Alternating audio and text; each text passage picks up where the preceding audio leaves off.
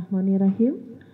Acara pembukaan penyebaran informasi obat dan makanan di Kabupaten Lombok Tengah, uh, Senin, 6 Juli 2021. Oh, Selasa, mohon maaf. Selasa, 6 Juli 2021. Yang terhormat, Ibu Ketua Tim Penggerak PKK Kabupaten Lombok Tengah, Ibu Nuraini Fathul Bahri. Yang terhormat, Kepala Balai Besar Pengawas Obat dan Makanan di Mataram, Ibu Dr. Anda Igusti Ayu Adhi Arya Patni, apoteker. Yang terhormat, Ibu Ketua Tim Penggerak PKK se-Kabupaten Lombok Tengah. Singkatnya, Ibu-ibu, tamu undangan, selamat datang di acara penyebaran informasi obat dan makanan di Kabupaten Lombok Tengah tahun 2021. Assalamualaikum warahmatullahi wabarakatuh. Selamat pagi dan salam sejahtera untuk kita semua. Puji syukur kita panjatkan kehadirat Allah Subhanahu wa taala atas nikmat kesehatan yang telah diberikan kepada kita semua sehingga kita dapat mengikuti acara kita pada pagi hari ini hingga siang hari ini dalam keadaan sehat walafiat. Uh, adapun susunan acara pada pembukaan adalah sebagai berikut. Yang pertama, mendengarkan lagu, menyanyikan lagu Indonesia Raya. Yang kedua, pembacaan doa. Yang ketiga, sambutan Kepala Balai Besar Pengawas Obat dan Makanan di Mataram. Yang keempat, sambutan Ketua Tim Penggerak PKK Kabupaten Lombok Tengah sekaligus membuka acara secara resmi. Yang kelima, penutup. Baiklah, memasuki acara pertama yaitu menyanyikan lagu Indonesia Raya yang akan dipandu oleh Ibu RR Nining Suryaningsih. Hadirin kami mohon untuk berdiri.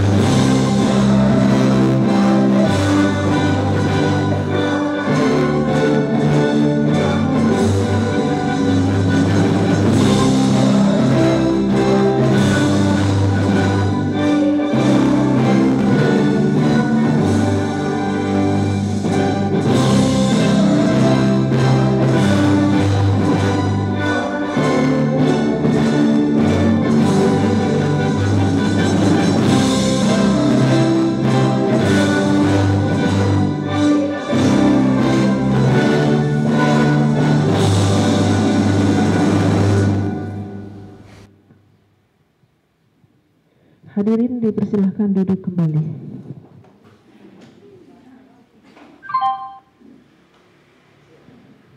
Untuk berkahnya acara kita pada pagi hari ini, marilah kita menundukkan kepala sejenak untuk berdoa.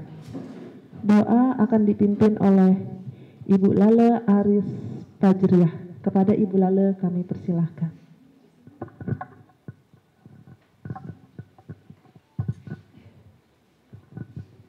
Assalamualaikum warahmatullahi wabarakatuh. E, marilah kita bersama-sama berdoa untuk yang beragama Islam e, akan saya pimpin. Auzubillahiminasyaitonirrajim.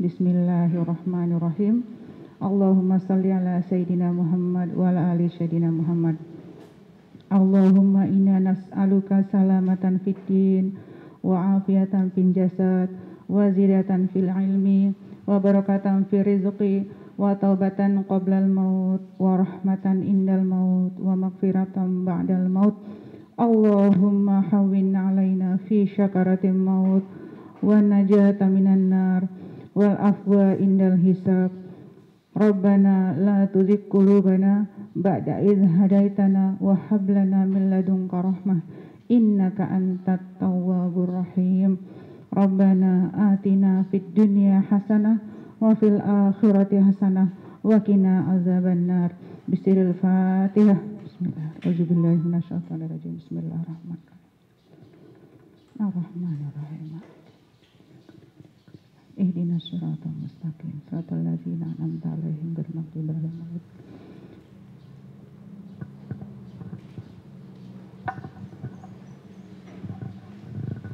Thank you. Menginjak acara ketiga, laporan penyelenggaraan kegiatan yang akan disampaikan oleh Kepala Balai Besar Pengawas Obat dan Makanan di Mataram kepada Ibu Igusti Ayu Adi Arya Patmi Apoteker, kami persilahkan. Terima kasih pembawa acara, Bu Baik, yang Ibu Ketua Tim Penggerak PKK Kabupaten Lombok Tengah, Ibu Nurul, mohon maaf nama lengkapnya belum ini Bu. Yang saya hormati juga ibu-ibu uh, ketua tim penggerak PKK kecamatan ya, se Kabupaten Lombok Tengah. Ini dari Kecamatan Batu Kliang, Praya Tengah, Praya Barat Daya, Praya Barat, Praya Timur, Kopang, Pujut, Batu Kliang Utara, uh, apa? Sana pria jana pria jonggak uh, peraya sendiri juga ya pringgarata yeah. uh, semua yang hadir semua te, termasuk juga pokja tiganya ya terus sama tim ibu uh, bupati. Assalamualaikum warahmatullahi wabarakatuh. Uh, salam sejahtera, shalom, om swastiastu, namo buddhaya, salam kebajikan, salam sehat dan bahagia untuk kita semua. Pertama-tama tentu puji syukur kita panjatkan atas rahmat, nikmat, sehat ya. Kemudian rezeki kita dapat kesempatan pada pagi hari ini bisa bertatap muka, bertemu dalam acara sosialisasi keamanan obat dan makanan kesempatan ini saya sampaikan juga terima kasih sebanyak-banyaknya kepada Ibu Ketua Tim Penggerak PKK Kabupaten Lombok Tengah yang telah memberi kesempatan kepada kami untuk uh, berbagi, edu, mengedukasi ibu-ibu, memberi informasi kepada ibu-ibu terkait keamanan obat dan makanan. Karena obat dan makanan peredarannya sekarang sudah sangat banyak ya. Dan tidak hanya banyak tapi juga ada juga yang tidak memenuhi syarat. Ya nanti kami akan sharing apa-apa yang perlu ibu-ibu ketahui. Ya kami sangat senang de, di mediasi difasilitasi oleh Ibu uh, Nurul karena ibu-ibu ini adalah penentu ya pengambil keputusan apakah makanan itu dibeli, dikonsumsi, kosmetik, dibeli, dipakai. Ibu-ibu ini memegang peranan penting dan juga sebagai uh, tim penggerak PKK yang mempunyai tugas dengan 10 pokok PKK ya termasuk pangan dan kesehatan. Jadi uh, kami mohonkan juga informasi ini tidak berhenti di ruangan ini tapi juga disosialisasikan di acara-acara ibu-ibu sekalian uh, di setiap kesempatan, baik mungkin rapat rutin atau sosialisasi terkait uh, materi-materi kesehatan yang lain, mohon ini juga disampaikan juga. Karena Badan POM uh, Balai Besar POM di Mataram ini anggaran dan SDM-nya terbatas, tidak mampu sampai ke pelosok-pelosok.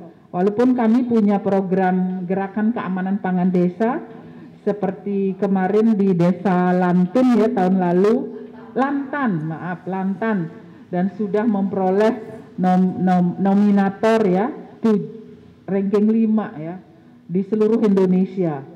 Jadi ini kami cukup senang kerja keras teman-teman di desa Lantan dan tentu didukung disupport oleh uh, pemerintah daerah termasuk PKK baik PKK di Lantan, kecamat ke des, uh, kecamatan dan juga uh, bu, uh, apa Kabupaten Lombok Tengah.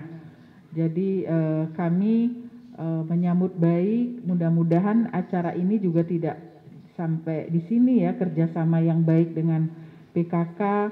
Uh, mudah-mudahan ke depan bisa lagi kita bertemu bekerja sama dengan materi-materi yang penting lainnya.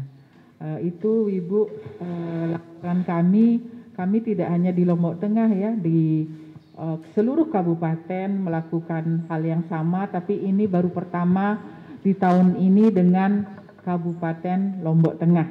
Ya, terima kasih ini atas Ibu Bupati, Ibu Nurul. Uh, kemarin juga saat penilaian beliau dan Bapak Bupati sangat uh, concern, sangat perhatian untuk keamanan pangan. Tapi nanti keamanan obat, keamanan kosmetik, obat tradisional itu juga perlu terus uh, ditingkatkan. Mungkin itu Ibu yang perlu kami laporkan. Uh, mohon nanti Ibu berkenan untuk membuka acara ini secara resmi. Demikian, wassalamualaikum warahmatullahi wabarakatuh. Terima kasih Ibu Igusti Ayu Adi Arya Fatmi atas penyampaiannya.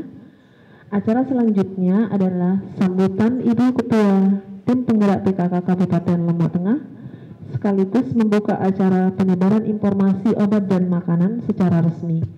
Kepada yang terhormat Ibu Bayi Nuraini Fathul Bahri kami persilahkan. Izin buka masker. Assalamualaikum warahmatullahi wabarakatuh. Selamat pagi, salam sejahtera untuk kita semua. Alhamdulillahirabbil alamin. Assalatu wassalamu ala asrofil anbiya wal mursalin wa ala alihi wa sahbihi ajma'in. Rabbi surah sadri wa yassir li amri wahlul 'uqdatam min lisani yafqahu qawli amma ba'd. Yang saya sama-sama kita hormati Ibu Kepala Balai Besar POM Dr. Anda I Gusti Ayu Adiar Adiari Patmi Adiari ya Patmi yang yang hormati Ibu-ibu Ketua PKK Kecamatan Sekabupaten Lombok Tengah. Namun yang lihat ini belum semuanya hadir kayaknya belum datang. Oh gitu uh, jadi dulu di sana sehingga banyak yang belum ini yang pertama dipakai untuk tenaga yang saya hormati pula ibu-ibu dari Pogja 3 Kabupaten terima kasih sudah sempat hadir Pertama-tama mari kita panjatkan puji syukur hadirat Allah Subhanahu wa taala yang telah memberikan kita nikmat yang luar biasa, nikmat sehat, sempat sehingga kita bisa sharing ilmu di tempat niki dalam badan sehat walafiat. Salawat dan salam mari kita aturkan pada junjungan alam Nabi besar Muhammad sallallahu alaihi wasallam. Allahumma salli ala Muhammad wa ala ali sayyidina Muhammad. Pertama-tama yang ingin yang sampaikan rasa terima kasih, rasa syukur kami terhadap Ibu Kepala Besar POM yang berkenan hadir dan berkenan untuk kerjasama dengan kami dalam hal sharing ilmu, pengalaman, bagaimana cara kita terutama ibu kecamatan untuk memilih makanan mana yang baik dan layak dikonsumsi dan obat-obatan apa yang layak dan baik dikonsumsi untuk kita terutama keluarga dan masyarakat.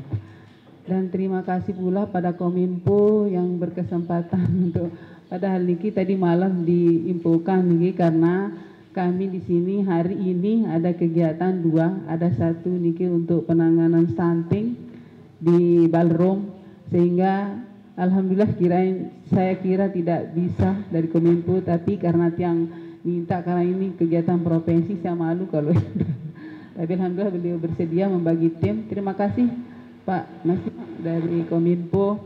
Terima kasih pula teman-teman dari provinsi, terima kasih Ibu yang sering kan ketemu kalau sama beliau nih ya.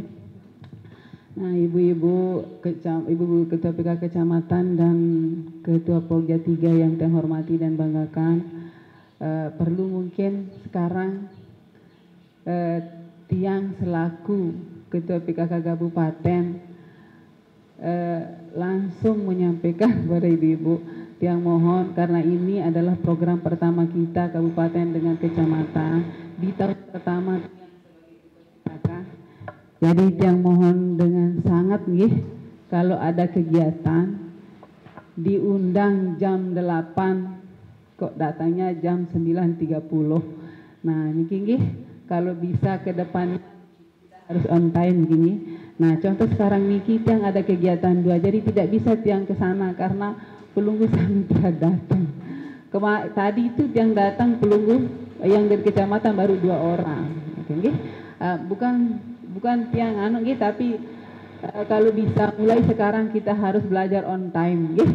kita buang uh, jam karet nih karena niki demi kelancaran eh, program-program uh, kita juga niki. Nah, pelingi sami pun demikian di di kecamatan mungkin ada kegiatan lain bisa pelingi laksanakan dua dalam satu hari dengan catatan on time, gitu. Yang mohon ibu-ibu niki maaf kalau yang salah Niki, tapi Niki harus kita tegaskan sekarang Niki. Karena dari beberapa tahun yang dulu memang meniki terus kejadian-kejadiannya. Nah, kenapa enggak sekarang mulai tahun pertama program kita dimulai hari Niki kita akan berubah untuk benar-benar menghargai waktu. Nggih. Oke, Ibu, apalagi Ibu Niki, Bu dari Balai POM ada kegiatan juga hari Niki, sehingga belum datangnya tadi, belum saya baru datang lima orang. Tapi tidak apa-apa. Yang yakin beliau ini orang baik akan memaafkan kita semua. Maaf Bu, dari Kepala Balai POM. Nah, ibu-ibu yang tiang hormati dan banggakan, kenapa tiang sangat berharap dan sangat menginginkan pertemuan atau sosialisasi? Karena yang kita tahu semua lah sekarang ini udah era, digital nih, semua serba dipesan di online, di online, termasuk makanan juga nih apalagi obat-obat dan alat-alat kecantikan atau kosmetik Niki. Nah, karena mungkin kalau kita mau makan apa saja bisa kita pesan lewat GoFood dan sebagainya. Nah, apakah kita bisa memastikan kalau makanan itu baik dan layak dikonsumsi oleh kita tanpa ada bahan pengawet yang sebenarnya tidak layak untuk dikonsumsi oleh manusia terutama gitu. Nah, baik dari segi pewarna maupun zat kimia yang lain. Nah, itu tujuan kami dan yang kedua supaya pelunggu sami dari kecamatan besok bisa sosialisasikan ke PKK desa dan masyarakat. Nike. Tapi dalam hal niki yang memang sama dengan pelunggu sama sekali tidak ada pengalaman dalam niki dalam ilmu niki sehingga tiang akan ikuti sampai selesai karena untuk acara di sana tiang sudah minta seseorang untuk mewakili ke sana. Menikah ibu-ibu, jadi ini sangat penting nanti pelunggu samit yang harapkan untuk benar-benar mengikuti sampai selesai karena niki adalah amanah. Kalau pelingi sudah terima ilmu dari sini, otomatis pelingi harus sampaikan ke masyarakat dan desa, nggih. Nah, niki dari Jonggat mungkin.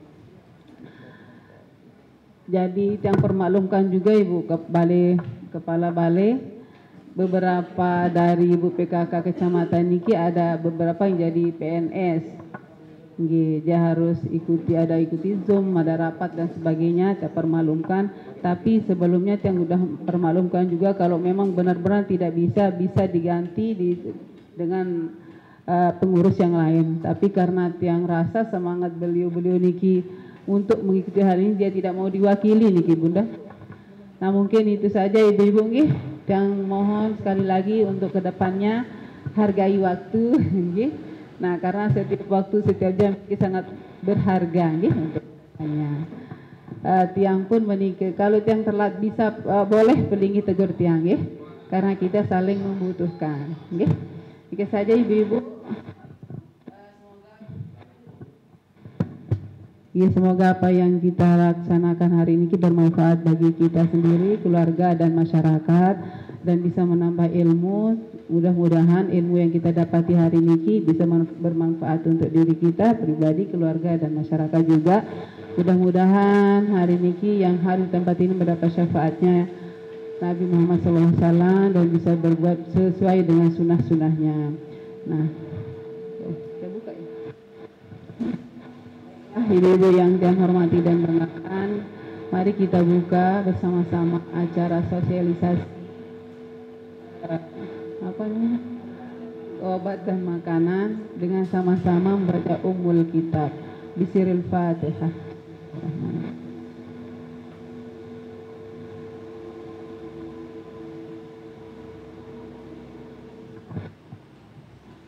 Sekian, wassalamualaikum warahmatullahi wabarakatuh.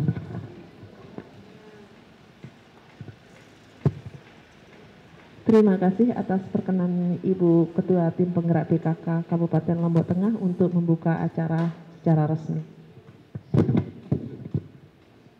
Sebelum kami tutup acara pembukaan, kami mohon perkenan Ibu Ketua PIN Penggerak PKK, Ibu Kepala Balai Besar Pengawas Obat dan Makanan, serta ibu-ibu hadirin untuk uh, berdiri di depan untuk foto bersama. Atau mungkin uh, eh ibu-ibu tetap aja di posisinya. Kami ngambil foto dari sebelah sini. Mungkin nanti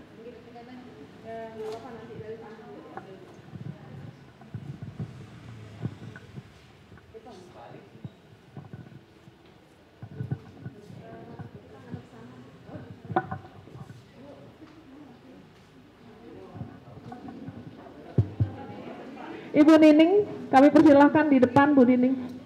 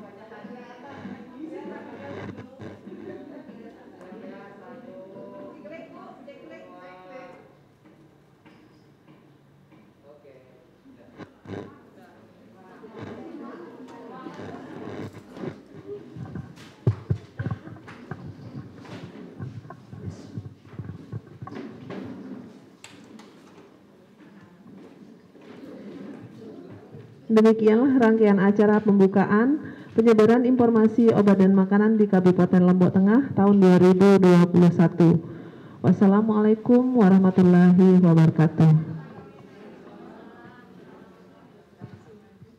Uh, Bapak Ibu, uh, Ibu-Ibu, uh, lanjut kita ke pemaparan materi hari ini. Ibu Kepala Balai Besar Pengawas Obat dan Makanan akan menyampaikan materi terkait uh, obat dan makanan yang aman untuk keluarga ya.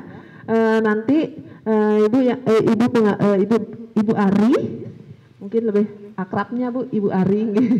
Ibu Ari akan menyampaikan e, materi e, yang berkaitan dengan obat dan kosmetik. Selanjutnya nanti materi akan dilanjut oleh saya e, Baik Suryati yang akan menyampaikan melanjutkan terkait makanan dan obat tradisional. Kepada Ibu Ari kami persilahkan.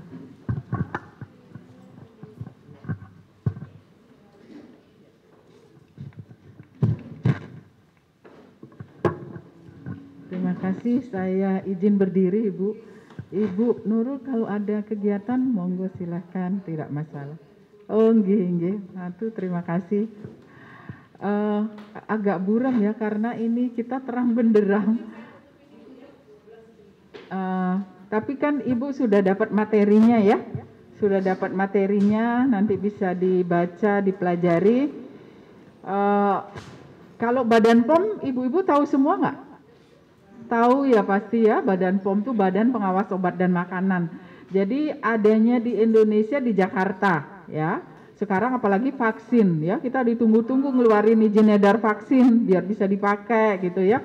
Obat juga, jadi tugasnya kita mengawasi obat dan makanan.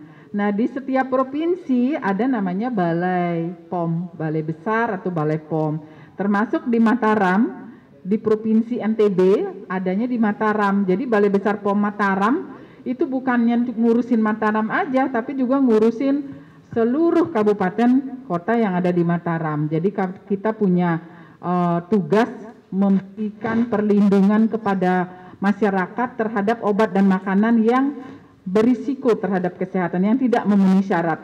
Jadi kami juga melakukan kerjasama dengan lintas sektor, dengan pemerintah daerah, termasuk juga dengan ibu-ibu PKK ya pada pagi hari ini. Jadi kami sampaikan wilayah kerja seluruh kabupaten kota. Jadi uh, kami sampaikan juga bahwa di NTB ini sudah ada juga namanya Lokapom di Bima.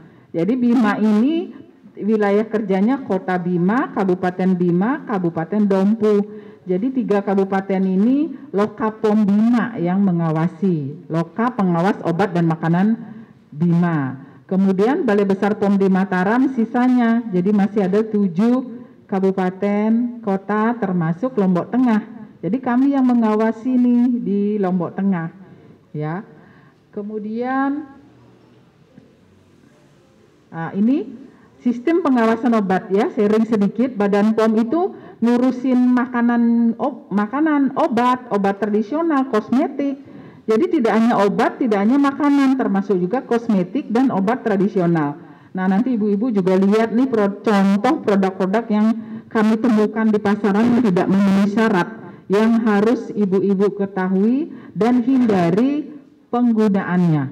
Jadi kita punya uh, sistem pengawasan obat yang namanya tiga lapis ya.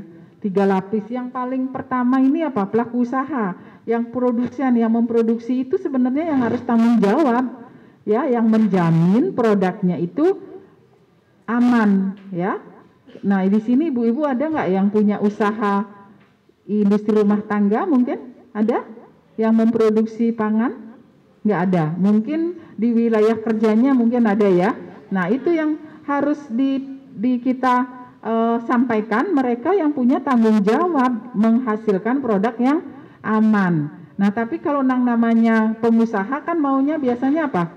Mau untung aja nggak mikirin nggak mikirin uh, makanannya nanti bermasalah nggak dipikirin yang penting untung kadang-kadang juga mereka nggak tahu ini nggak boleh itu nggak boleh mereka nggak tahu akhirnya make nah makanya Pertama, setelah pelaku usaha siapa? Pemerintah. Pemerintah ini termasuk Dinas Kesehatan, Badan POM. Nah, itu yang tugas. Yang pertama pelaku usaha, yang kedua pemerintah, yang ketiga siapa? Masyarakat. Nah, masyarakat ini yang paling terakhir penentu.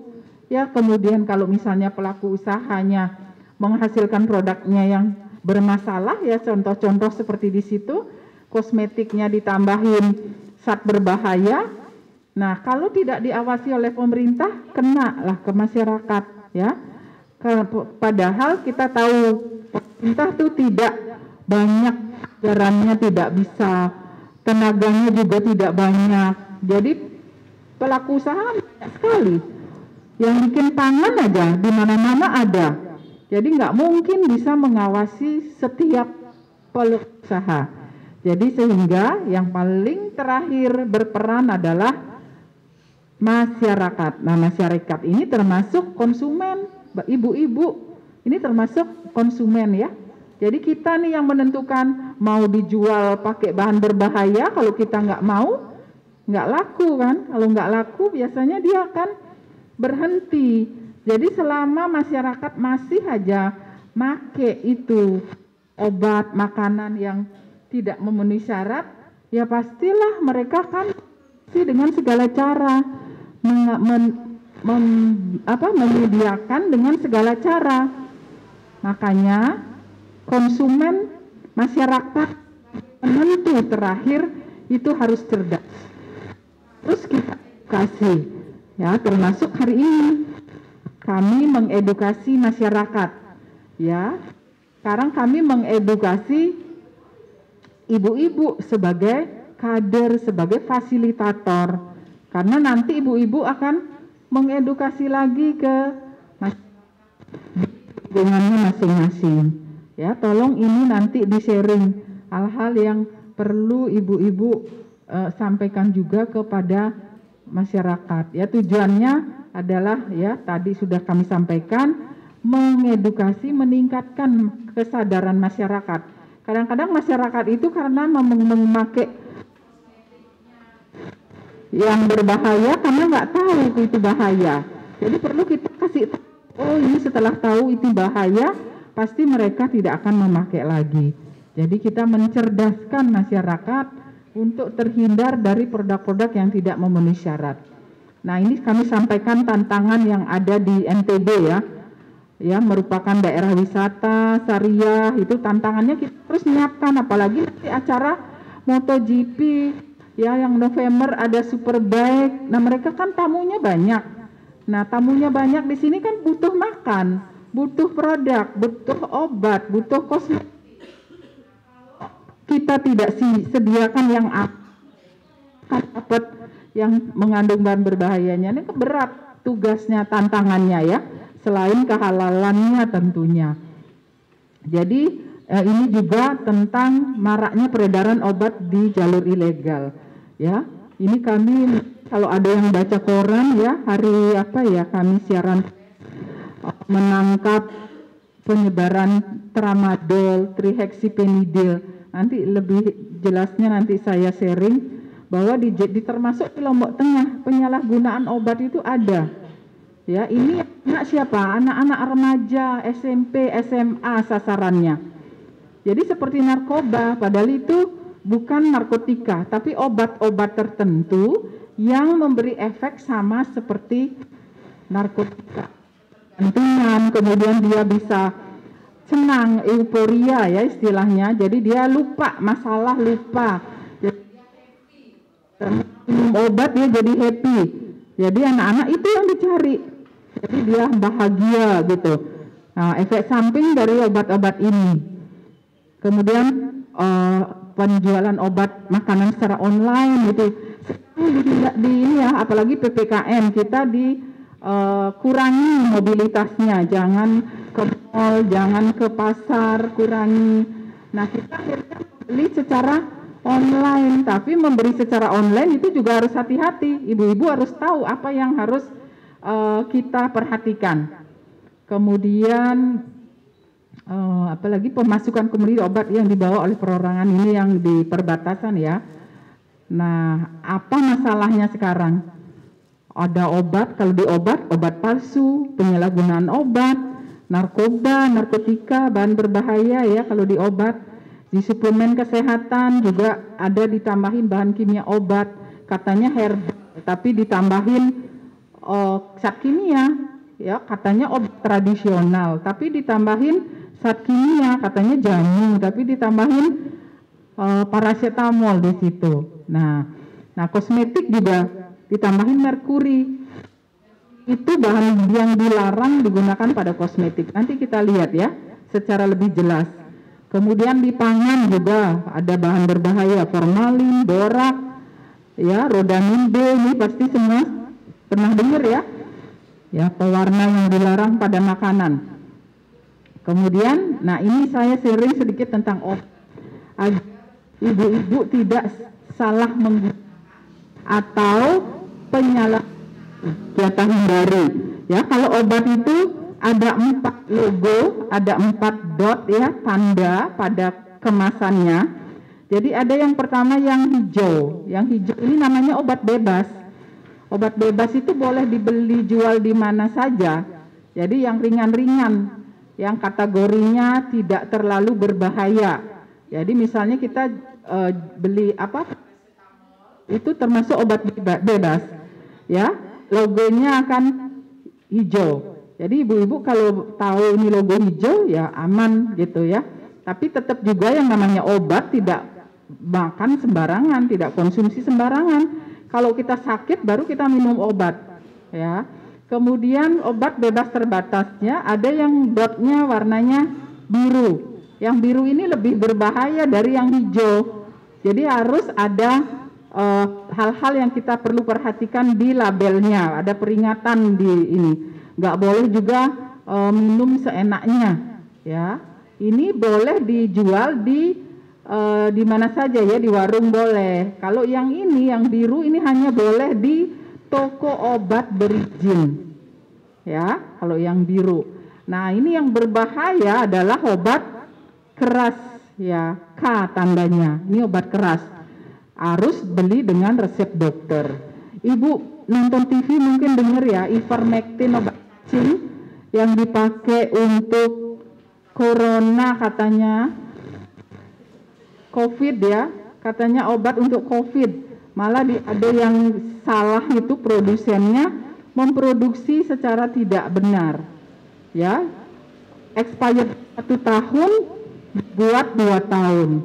Makanya badan pom uh,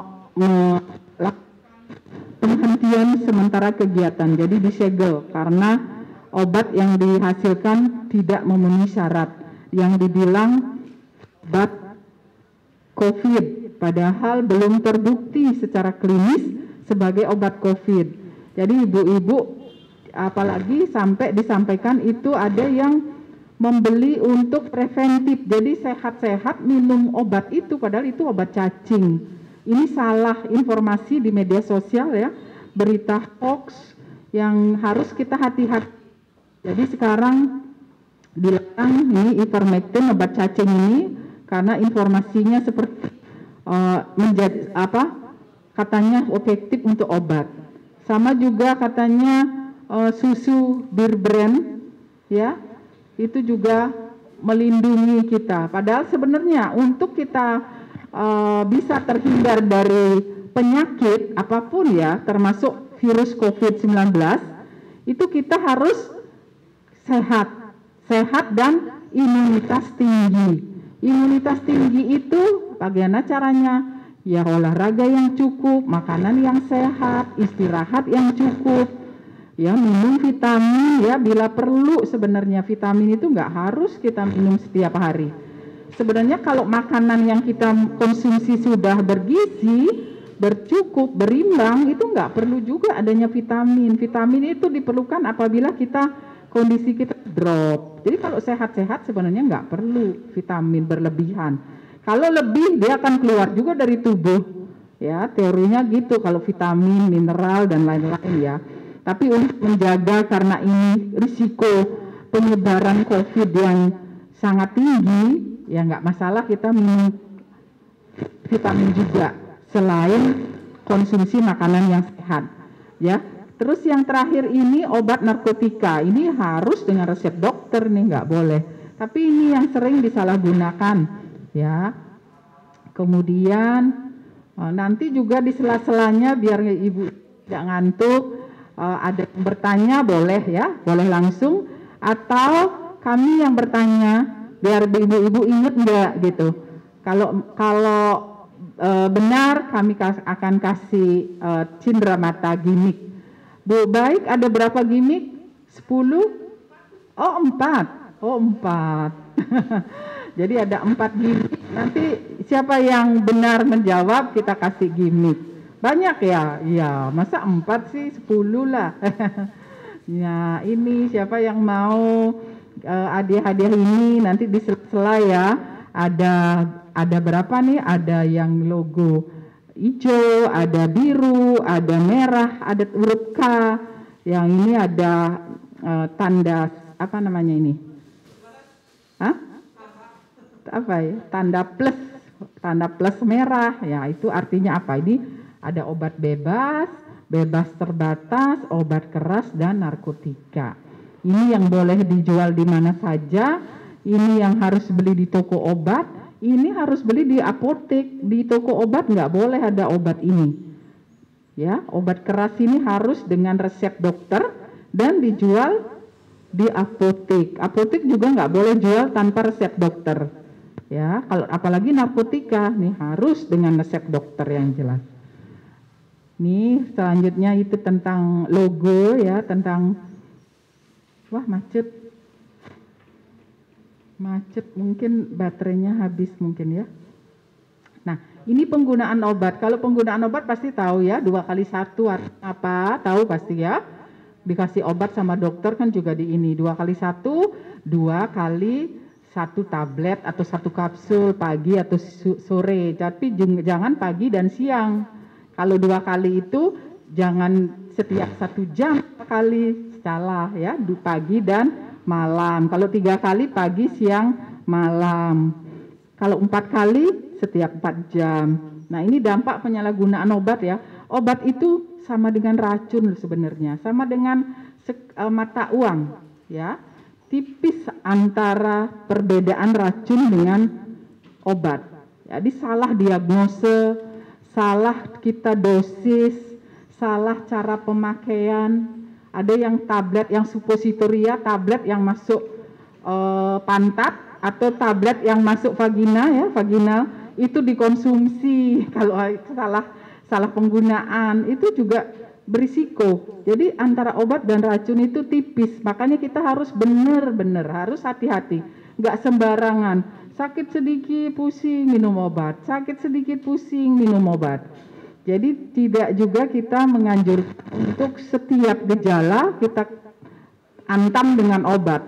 Ya, karena obat itu racun masuk ke dalam tubuh merusak ginjal, merusak lever dan lain-lain.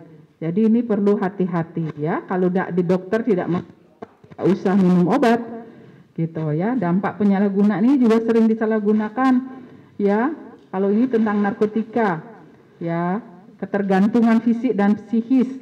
Kalau orang udah tergantung narkotika, tidak dikasih itu dia badannya sakit, yaitu golongan narkotika.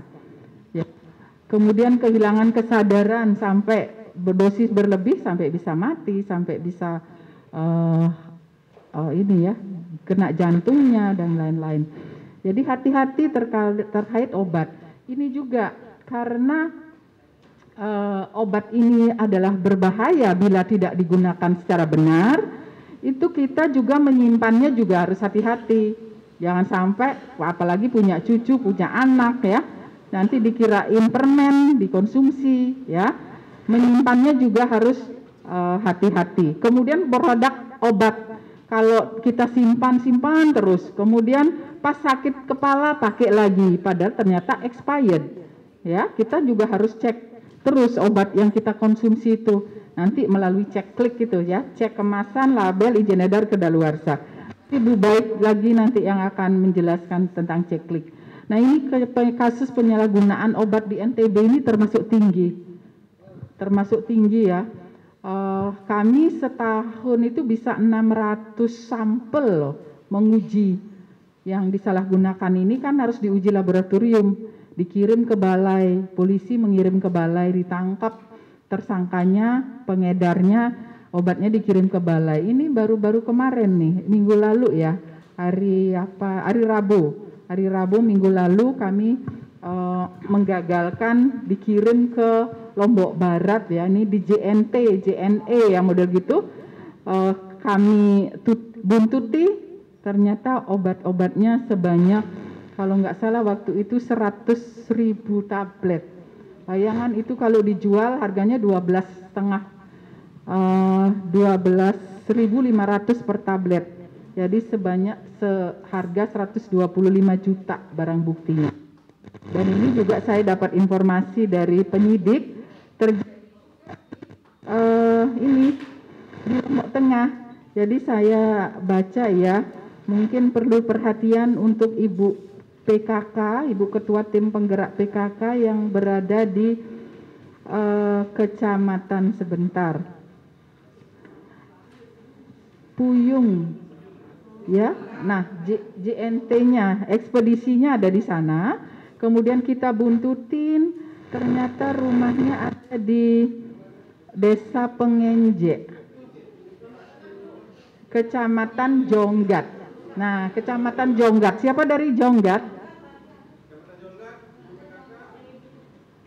Ya, Ibu mungkin mendapat perhatian ini di Jonggat. Ini waktu itu kita amankan 22.500 tablet ditambah 17 hampir 40.000 tablet ya pengedar ya dari dari janggat ini. Ya, jadi itu jadi di Lombok Tengah termasuk juga ya. Nah, ini yang contohnya tramadol, komik yang sering disalahgunakan. Jadi hati-hati ibu-ibu kalau uh, putra putri ya eh, SMP, SMA itu ada komik yang berlebihan karena kalau di, di, di satu aja sih biasa obat batuk. Tapi kalau konsumsi 15 itu memberi efek seperti narkotika. Nah, itu ditambahin lagi dengan minuman soda lain-lain. Jadi modusnya seperti itu. Jadi hati-hati kalau uh, ada putra-putri remaja yang menggunakan komik ini. Ya, biasanya mereka kumpul-kumpul. Nah, itu lihat bungkus kom komiknya tuh di ya. Ini bungkus komiknya kalau minum untuk bat, obat batuk kan nggak mesti banyak-banyak kan, cuma cukup satu. Jadi kalau udah da dalam jumlah banyak itu harus uh, mendapat perhatian ya. Nah ini yang obat-obat sering disalahgunakan. Nah sekarang itu obat. Nah saya kasih uh, pertanyaan dua deh tentang obat sekarang. Siapa mau jawab tanda, tanda angkat tangan? Siapa mau akan mendapat hadiah? Angkat tangan dulu sebelum dikasih pertanyaan atau pertanyaan dulu. Pertanyaan dulu ya. Ibu dari PKK mana? Oh Pujut. Wah ibu nih hebat. Ya udah ibu maju aja sini. Ini belum dengar pertanyaan sudah maju hebat. Ya. Ya. Sini. Oh mau bertanya. Sekarang sekarang yang menjawab dulu ya. Nah silahkan ibu uh, obat ada empat logo di obat nah ini ibu silakan maju uh, uh, ada logo ya warnanya apa warnanya artinya apa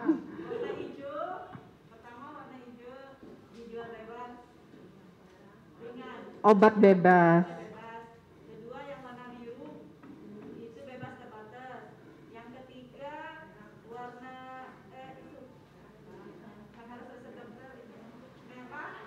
Ada huruf apa? Iya, K. Oke. Okay. Narkotika. Oke, okay, benar? Oh, betul. Silakan Ibu, bisa pilih hadiahnya. Oh, karena pertama bisa milih hadiahnya, ambil sendiri ya. Uh -uh. I, ini bukan hadiah ya, Bu. ini bukan hadiah. Silakan. Oh, silakan diambil sendiri. Iya, selamat ya. Nah, ada lagi Uh, sekarang dua pertanyaan lagi, eh satu lagi ya tentang obat tadi. Apa ya? nah, uh, Badan POM deh tentang Badan POM, eh, kan tentang obat ya. Apa ya tadi ya? Uh, saya sampai lupa nih ngasih uh, apa ya? uh, ya? Ah, gini ya. Uh, Badan POM Singkatan dari mana? Apa? Badan POM. Ah, ada ya. Siapa Ibu? Ya. Eh, bukan, bukan balainya, Badan POM. Salah, Badan? Salah. Ayo. Baca juga salah. Ya. Siapa tuh tadi? Wah, ibu ya? Ya, karena sudah ini tambah lagi. Badan Pengawas Obat dan Makanan ada berapa? ada di mana? Udah di mana? Ya? Oke, ya kasih hadiah deh. Badan Pengawas Obat, Badan POM itu satu ya di Jakarta, Badan Pengawas Obat dan Makanan. Tapi yang di, di provinsi namanya Balai Besar Pengawas Obat dan Makanan. Jadi jangan pengawasan. Silakan Ibu diambil hadiahnya. Ya. Pilih-pilih ya. Oke, silakan, silakan. Boleh, boleh. Boleh. Tumbler, boleh. Tumbler untuk air anget Ibu, air panas. Ya, oke. Okay. Oke ya saya lihat sekarang kosmetik. Nah kalau kosmetik pasti menarik untuk ibu-ibu. Ya nanti semua bisa menjawab pasti. Uh, kosmetik ya. Siapa pakai kosmetik? Semua. Bapak pakai kosmetik nggak? Eh, nggak nggak. Bapak pakai nggak? Maskernya dipakai dong. Mas maskernya dipakai dong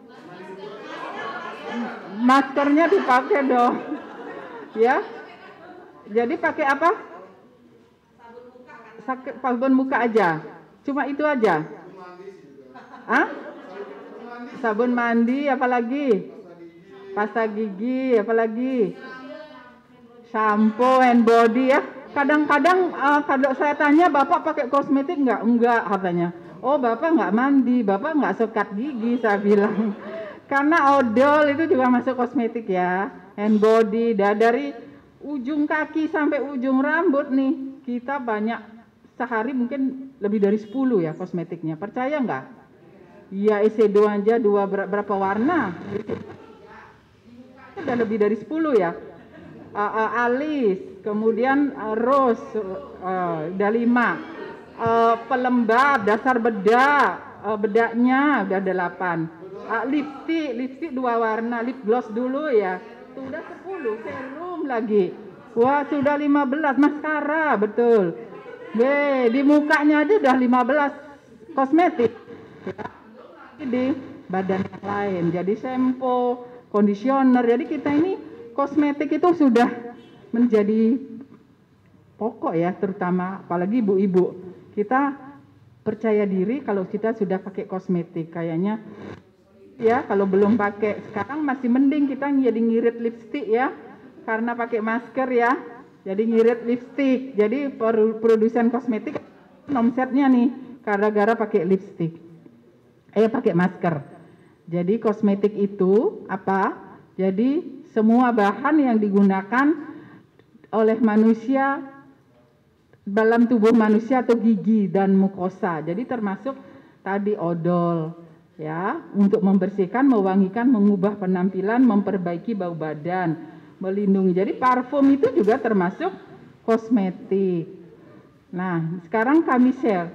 Bapak, ibu-ibu kalau beli kosmetik lihat apa? Pertama lihat apa? Oh, bagus kalau lihat expired. Biasanya lihat harga, lihat merek, ya, lihat diskon, ya Nah, diskon 50% ternyata expirednya bulan depan. Padahal bedak nggak mungkin habis bulan depan. Itu juga harus diperhatikan ya. Ini kode ya ini perlu kami sampaikan kosmetik itu kodenya apa? Kalau di Indonesia itu kosmetik itu kodenya N ya, BPOM eh, pasti ada BPOM-nya dulu. BPOM NA, NX ini X-nya ini bisa ganti-ganti tergantung dari benuanya. Jadi N itu artinya notifikasi, X-nya itu kode benua. Jadi kalau diproduksi di Indonesia kan masuk Asia, nanti kodenya NA.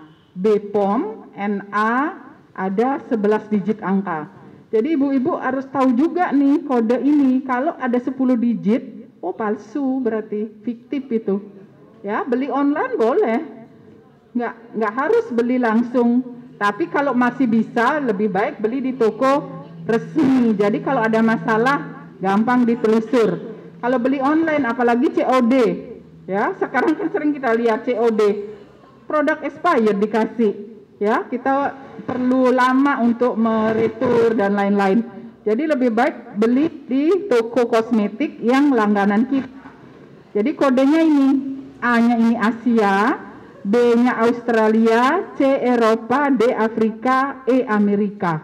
Jadi kalau produk import, katanya ini produk import, tapi kodenya NA bisa jadi importnya dari Malaysia, dari Singapura ya. Kalau dia bilang importnya dari Jerman gitu, kodenya NA, berarti bohong, fiktif. Nah, ibu-ibu perlu tahu nih.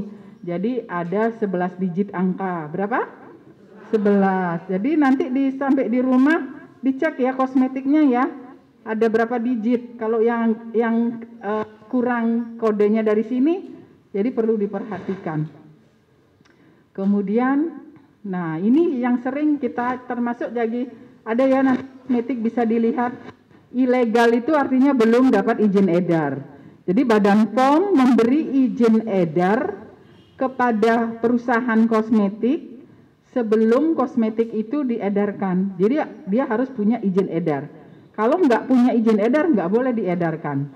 Ya, itu Badan POM yang memberikan. Dan tentunya Badan POM tidak sembarangan memberikan izin edar. Apabila memenuhi syarat baik produk yang dihasilkan ataupun cara memproduksinya dia benar, ya memenuhi syarat barulah dia dapat izin edar. Nah, setelah dapat izin edar, Badan POM gimana nih melindungi konsumen masyarakat?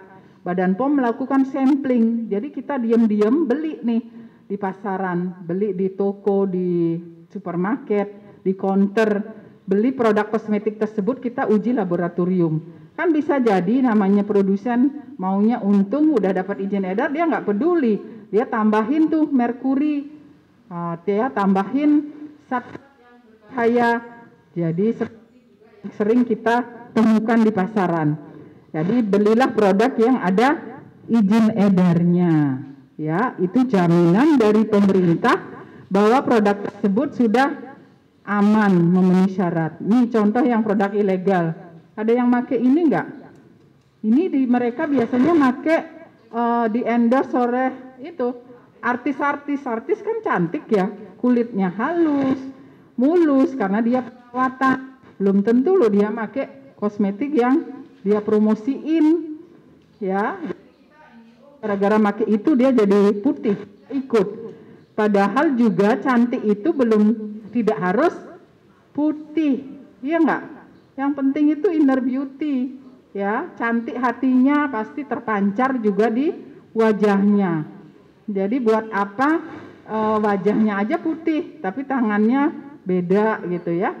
Bapak-bapak saya tanyakan setiap e, begini, bapak-bapak mau istrinya putih enggak? Enggak sih katanya, yang penting bersih gitu. Tapi ibu-ibu nih yang suka putih Padahal kita negara tropis, negara tropis kena matahari nggak mungkin bisa putih seperti yang uh, negara lain yang di luar negara tropis. Nah ini katanya kosmetik judulnya kosmetik Ayu Ting, krim Ayu Ting Ting. Nah, ternyata merkuri. Ini hasil pengawasan kita. Ini krim Syahrini. Nah, pakai krim Syahrini isinya pemutih ya itu yang harus kita hati-hati ini contoh-contoh kosmetik ilegal. Krim malam krim putih ini apa nih ling ling lingsi ini dari dulu dulu nggak ketemu ketemu kita produsernya di mana. Pernah ketemu di Jawa Barat muncul lagi. Lingsi ini ada merkurinya. Jadi krim krim uh, putih krim kuning. Ya hati-hati yang door to door menjual kosmetik. Ini krim pemutih ya putih itu hati-hati. Ini ester juga krim ester ini juga mengandung merkuri. Ada yang pakai nggak di sini krim ester? Mudah-mudahan enggak ya. Nih nih. Gimana nih? Eh, ini gara-gara tik nih. Kulitnya jadi begini. Gara-gara kosmetik ilegal. Mengandung bahan berbahaya. Tadi seperti ini dah ngeri. Ini bibirnya gara-gara uh, gara-gara pakai lipstick. Lipstick yang mengandung bahan berbahaya nih seperti gini. Ya. Seksi. Ini mer merkuri ya, karena merkuri nih mukanya. Karena mau putih.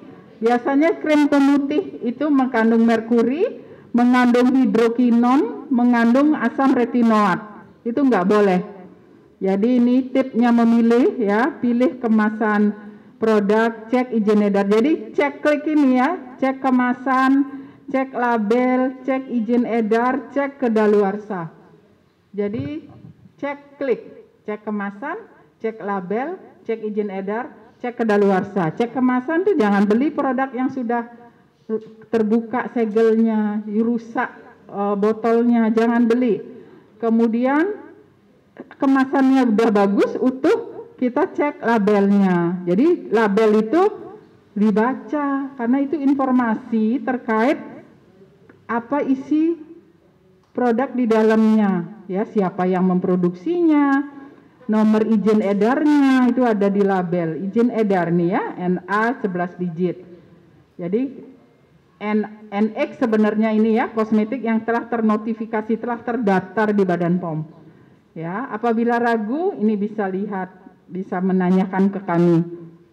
Terus nanti juga akan di-share, bisa ngecek dari Android Bapak Ibu, ada cek BPOM, ada BPOM Mobile, itu juga nanti uh, bisa diunduh aplikasinya, uh, nanti diajarin bagaimana caranya, nanti Bu Baik yang akan melanjutkan. Nah ini tip memilih kosmetik tadi ya, cek kemasan, adalah baca labelnya, ada izin edarnya, kemudian kedaluarsa, tidak lewat batas kedaluarsa, perhatikan isi tidak berubah. Kalau kita kosmetik kan sering ini ya, sudah biasa ya kita pakai itu mereknya ini, jangan ganti-ganti. Dikasih tahu tetangga, ini jadi kulit saya bagus. Belum tentu ibu-ibu cocok. Jadi kalau kita pakai misalnya dari dulu pakai Viva ya Viva aja terus, jangan pindah ke lain merek. Karena itu cocok artinya dengan ya dan kita sudah tahu warnanya seperti apa kalau yang yang bagus ya. Kalau berubah warna berarti sudah ada perubahan kualitas. Ini tadi udah ya. Uh, yang sesuai. Jadi kalau untuk kulit kering ya belinya yang untuk kulit kering, jangan gonta-ganti karena belum tentu uh, jenis kulit kita cocok dengan yang dipakai tetangga kita. Terus jangan mudah tergiur oleh efek krim yang cepat dalam waktu kurang dari satu minggu memutihkan. Ini kan iklannya biasanya. Ya, jadi kulitnya jadi licin ya, mungkin nyamuk itu terpleset kalau oleh anu tuh ya di mukanya. Ya, ada ya glowing. Nah, anak-anak tuh sekarang anak-anak ini yang perlu kita jaga, ya anak-anak muda, SMP, SMA itu sebenarnya belum waktunya dia untuk kena zat-zat yang berbahaya. Kan kulitnya masih bagus. Ya, kalau kita 50 ke atas, 40 ke atas sudah mulai harus ada perawatan.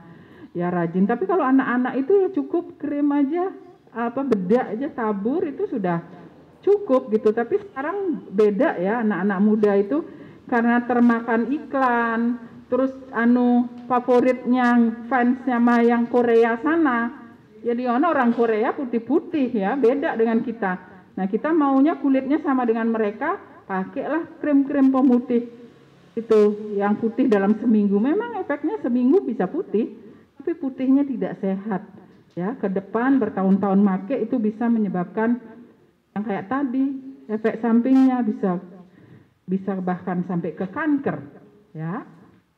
Nah tugas saya kan sudah selesai kosmetik dan obat. Nanti obat tradisional dan pangan dilanjutkan oleh Bu Baik saya kasih dua pertanyaan lagi ya masih berapa masih tiga ya Oh iya, yang bertanya, yang bertanya kasih hadiah juga nanti. Oh nggak usah, oh ibu nggak mau boleh, ya. ya. Dua yang mau bertanya silakan ibu. Oh, yang tadi ya. Untuk poin pertama kan perhatikan isi dari tidak berubah warna, tekstur dan, dan bau. bau, ya. Uh, sekali tadi ibu sempat juga menyampaikan terkait sama uh, merkuri, hidrokinon dan teman-temannya. Ya. Nah, yang saya ingin tanyakan kaitan dengan di situ tidak berubah warna. Uh, saya pernah dulu Bu, saya tidak sebutkan nama ya. dokternya, ada produk kosmetik yang digunakan oleh apa namanya produk dari dokter. Biasanya untuk dokter itu kan tidak ada kandungan biasanya dia tidak modelnya. ada label ya. ya tidak ada label dan juga dia akan berubah juga warnanya bu biasanya dia hmm. nah Terus yang kedua uh, untuk mengetahui dia mengandung berapa lama ibu pakai ya? Sudah pernah ibu pernah sendiri yang ini? Ya. Terus oh, berapa lama berubah warnanya? Uh, Biasanya harus disimpan di dingin ya? Iya, harus disimpan hmm. di kulkas. Iya, gitu. Nah, dia agak berubah warna, tapi memang di wajah enggak gitu, cuma dia ada mengalami perubahan warna sedikit. Nah, terus yang kedua kaitan sama warna ini Bu untuk merkuri maupun hidrokinon itu apakah ada ciri khas tersendiri dia warna atau enggak Bu? Nah terus e, bau yang khas yang tidak mengandung e, kadar merkuri maupun hidrokinon itu Bu. E, terus yang selanjutnya e, apa sih tadi? Terkait sama kandungan isi itu Bu ya. E, kandungan produknya itu Bu. Eh, ini terkait mungkin belum makanan tapi mungkin saya mendahului Bu, saking saya penasaran. Biasanya di situ disebut oh, uh, kadaluarsa. Makanan nanti ya. Oh iya iya. iya, iya. Uh, mungkin juga ya, di produk. Oh. Oh, disimpan nanti oh, ya. Iya, sudah. Mungkin itu aja makanan, Bu. ya. Oke. Okay. Ya pertama terkait perubahan warna. Uh, uh, kalau perubahan warna itu ini ini eh, ini apa sih bahayanya? Itu harus penelitian Bu, nggak tahu kita. Biasanya zat kimia itu berubah warna itu udah berubah uh, strukturnya karena perubahan mungkin suhu nggak nggak benar ya. Bisa karena suhu, bisa karena tekanan, uh, bisa sinar matahari itu yang merubah warna. Ya, jadi kenapa itu disimpan di suhu dingin? ya biar tidak berubah warna sebenarnya. Mungkin dia zat zat aktif yang ada di situ itu tidak tahan panas. Ya. Nah, untuk hidrokinon, kalau merkuri itu nggak boleh, dokter pun nggak boleh meresepkan krim yang mengandung merkuri, karena itu bahan dilarang. Tapi kalau hidrokinon, kalau di bawah pengawasan dokter, itu sebagai obat boleh. Jadi untuk kosmetik, kosmetik itu kan bukan obat. Jadi kalau kosmetik boleh dijual bebas, ya. Kosmetik nggak harus ada izinnya, tapi kalau obat kan harus ada izin, ya belinya di apotek, pakai resep. Nah itu kalau hidrokinon digolongkan karena tergolong obat yang diizinkan di bawah pengawasan dokter itu boleh, tapi dia bukan golongan kosmetik, tidak akan dijual bebas. Ibu nggak nggak akan dapat beli krim dokter itu di salon. Kalau dia di luar di salon itu salah. Di bawah pengawasan dokter boleh, ya karena dokter paham. Dan dokter pun dokternya dokter uh, spesialis kulit, ya spesialis kulit yang paham efek samping dan itu tidak boleh pakai terus menerus bu. Hidrokinon itu kalau dipakai terus menerus dan kita tidak boleh kena sinar matahari Ya, kalau kita pakai hidrokinon, pakai sinar matahari kembali lagi tuh yang hitam-hitamnya keluar. Kan biasanya ngilangin flek ya dipakai hidrokinon. Tapi setelah kena sinar matahari bisa balik lagi lebih parah. Ya, kenapa juga harus di bawah pengawasan dokter yang tahu ya. Kalau di bawah pengawasan dokter berapa kadarnya, kemudian bagaimana uh, atas treatmentnya ya, itu dibolehkan. Jadi tadi pertanyaan selain itu warna ya, ciri-ciri uh, kami pun sebagai uh, pengawas kami tidak tidak tahu. Oh ini ada merkurinya, oh ini ada uh, ini harus uji laboratorium. Tapi perlu dicurigai apabila kita memakai kosmetik pemutih katanya yang bisa memutihkan kurang dari satu minggu itu kita curiga ada merkuri. Ya, kemudian hidrokinon ada kosmetik yang pakai hidrokinon yang harus disimpan di kulkas yaitu kita curiga ada hidrokinon itu. Tapi di bawah pengawasan dokter boleh. Tapi untuk kosmetik nggak boleh. Ya karena itu sebagai obat. Ya dokter paham, oh ini memang perlu diobati dengan hidrokinon seperti itu. Jadi nggak boleh terus menerus digunakan.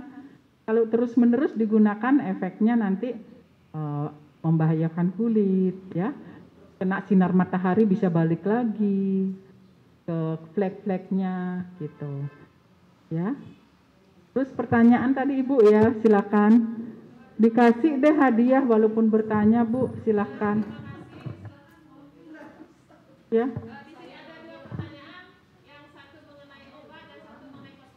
Oh iya, silakan. Untuk yang obat, eh, setelah saya mendengar penjelasan dari Ibu tadi, ketika kita melihat sebuah tanda dot yang berwarna, itu kategorinya obat. Nah, terkait tentang obat di sini, berarti air infus itu juga termasuk obat.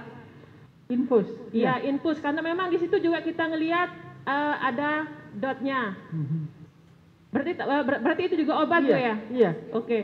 Yang kedua, saya menemukan sebuah uh, apa namanya uh, bungkus dari kosmetik. Kalau mendengar penjelasan ibu tadi, yang aman adalah ada di uh, eh, ada uh, apa namanya ada huruf sebelah digit. Nah, ini saya menemukan uh, secara kebetulan saya menemukan ini di sini tidak ada. Apakah di sini tempat kita melihatnya atau tidak di di bawahnya ini? Mohon maaf. Di barcode-nya ini. Barcode apa apa namanya? Ya, barcode. Sini. Karena di sini tidak ada uh, huruf itu apa hanya Bu? sekedar angka. apa? Ini maskara sama eyeliner. Baik, silakan bawa sini. Apa itu? Silakan. Uh -uh. Eyeliner sama maskara.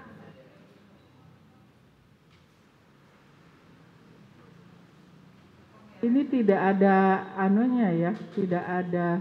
Tidak ini ada. bukan bu, ini bukan bukan oh, nomor gitu izin ya? edar bu.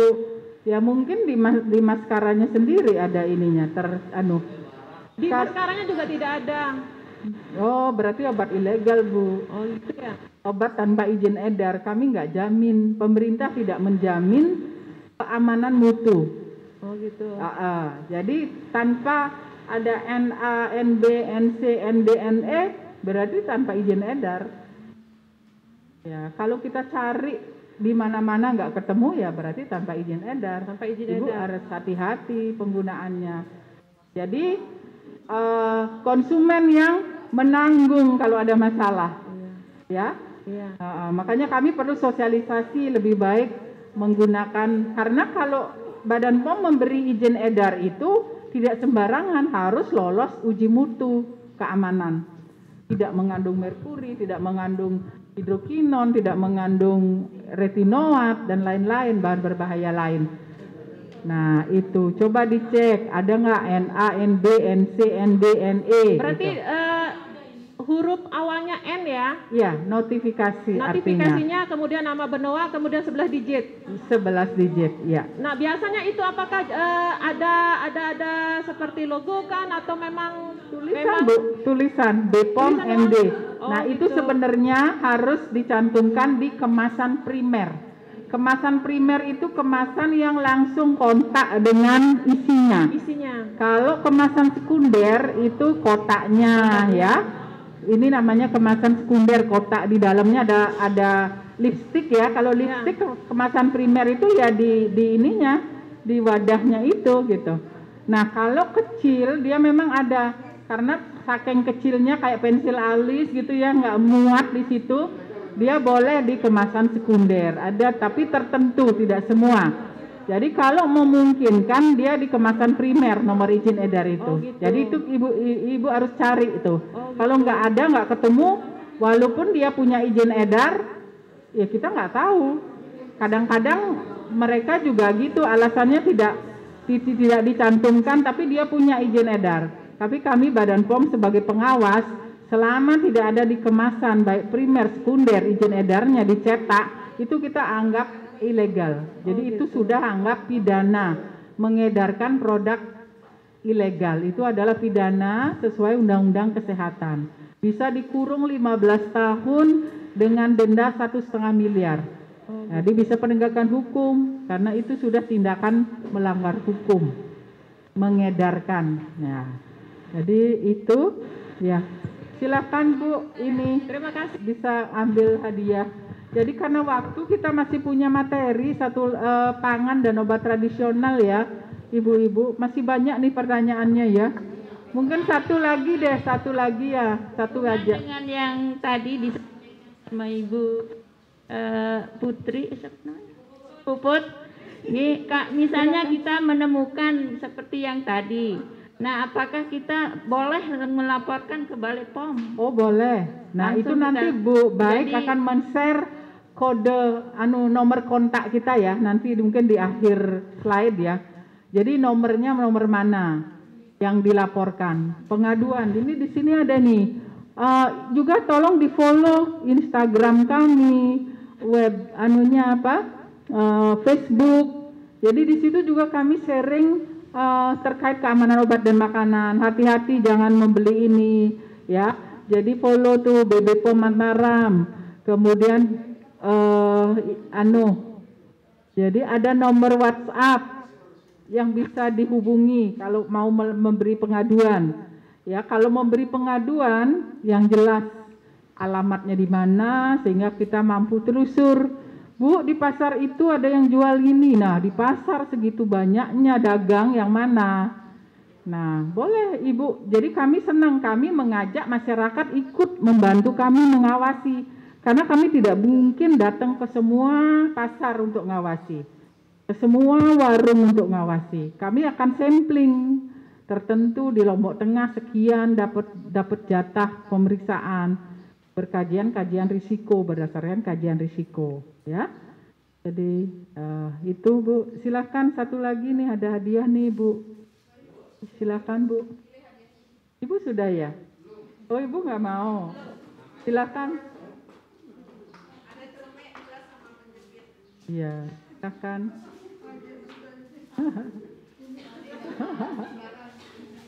Lemek kejepit ya. Ya nanti ya itu mungkin karena waktunya juga sudah siang ya. Oh, nanti materi berikutnya ada lagi dua. Sebenarnya kami banyak sekali punya hal-hal yang perlu kami sharingkan dan sangat mendasar, sederhana, tapi kalau kita lalai itu risikonya sangat membahayakan.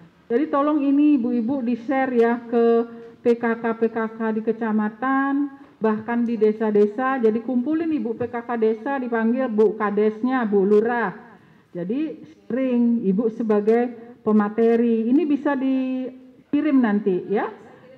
Ah, ah, dikirim linknya. Jadi nanti ibu tinggal buka. Sekarang aman, gampang ya zaman gini.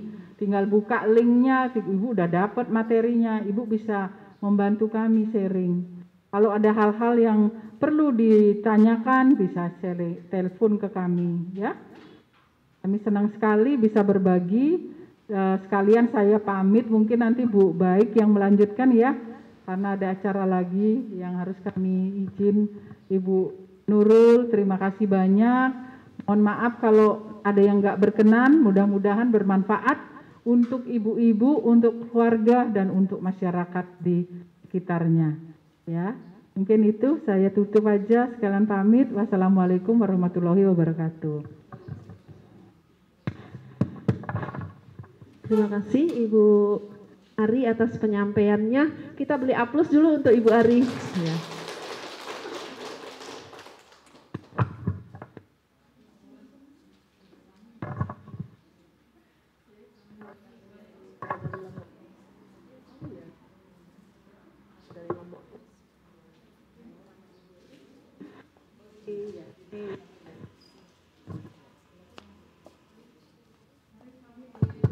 Ibu-ibu kita lanjut nggih.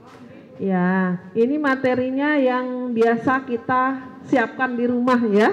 E, materi yang e, umumnya ibu-ibu juga kewajiban kita sebagai ibu-ibu untuk menyiapkan pangan di rumah pangan yang aman. E, tadi sudah saya sampaikan ya contoh-contoh e, makanan yang e, bahan berbahaya yang sering disalahgunakan dalam makanan itu ada e, ada kerupuk, ada apa namanya lagi itu ada kerupuk yang mengandung bahan berbahaya borak ada uh, bahan pewarna rodamin B namun satu yang uh, kebiasaan kita di Lombok Tengah ya Bu Ibu ya. Kalau habis begawe itu sukanya bikin nasinya itu sayang dibuang. Itu suka dikasih dibikin kerupuk atau dibikin pencok. Dikasihlah sode itu yang bahaya ya. Sode itu uh, adalah bahan berbahaya kita lanjut gih Ibu.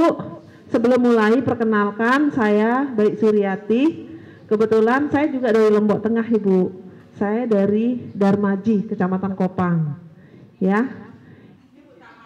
Oh, Ibu Camat. Alhamdulillah. saya uh, namanya asalnya memang dari Darmaji tapi uh, dari tahun 2000 11 saya tinggalnya di Mataram Bu. Cuman orang tua ada di Darmaji. Nggih. Nggih Bu. Kita lanjut. Nggih izin Bu. Nggih. E, kita lanjut. Nah. Ada gar di pangan olahraga dan ya kalau pangan siap pangan segar ini uh, ada juga yang mengandung formalin dan residu pestisida. Nah, saya mau nanya, kalau ibu-ibu di sini membeli sayur itu misalnya sayur bayam atau sayur sawi, biasanya ibu-ibu pilihnya sayurnya yang ada bolong-bolongnya atau tidak? Ya, ada bolong-bolongnya ya. Karena apa? Kalau ada bolong-bolongnya, insya Allah bebas dari pestisida ya. Terus uh, kalau misalnya uh, ayam atau ikan, ibu-ibu pergi ke pasar. Biasanya kalau beli ikannya, ikan yang bagaimana modelnya? Yang bebas dari formalin misalnya.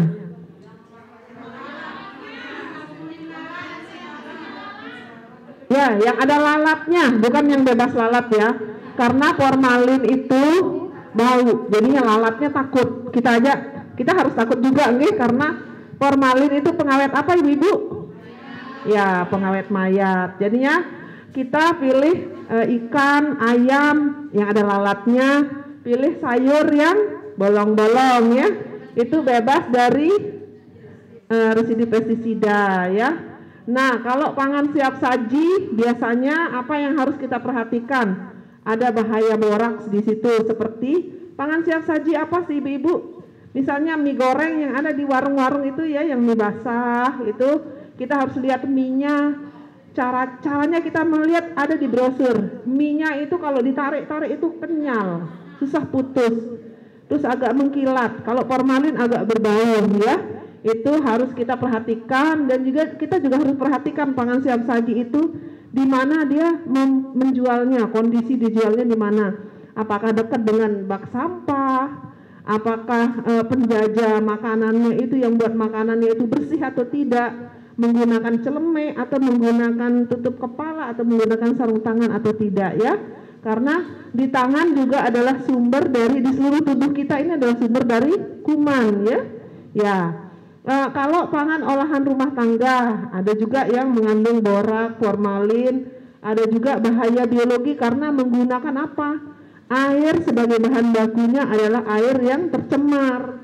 Karena septic tank rumahnya itu dekat dengan sumurnya, ya jadinya air septic tank itu masuk ke sumur. Jarak antara septic tank dengan sumur itu minimal 10 meter, ya. Ini kerupuk yang mengandung sode ya. Itu lagi dijemur kerupuknya.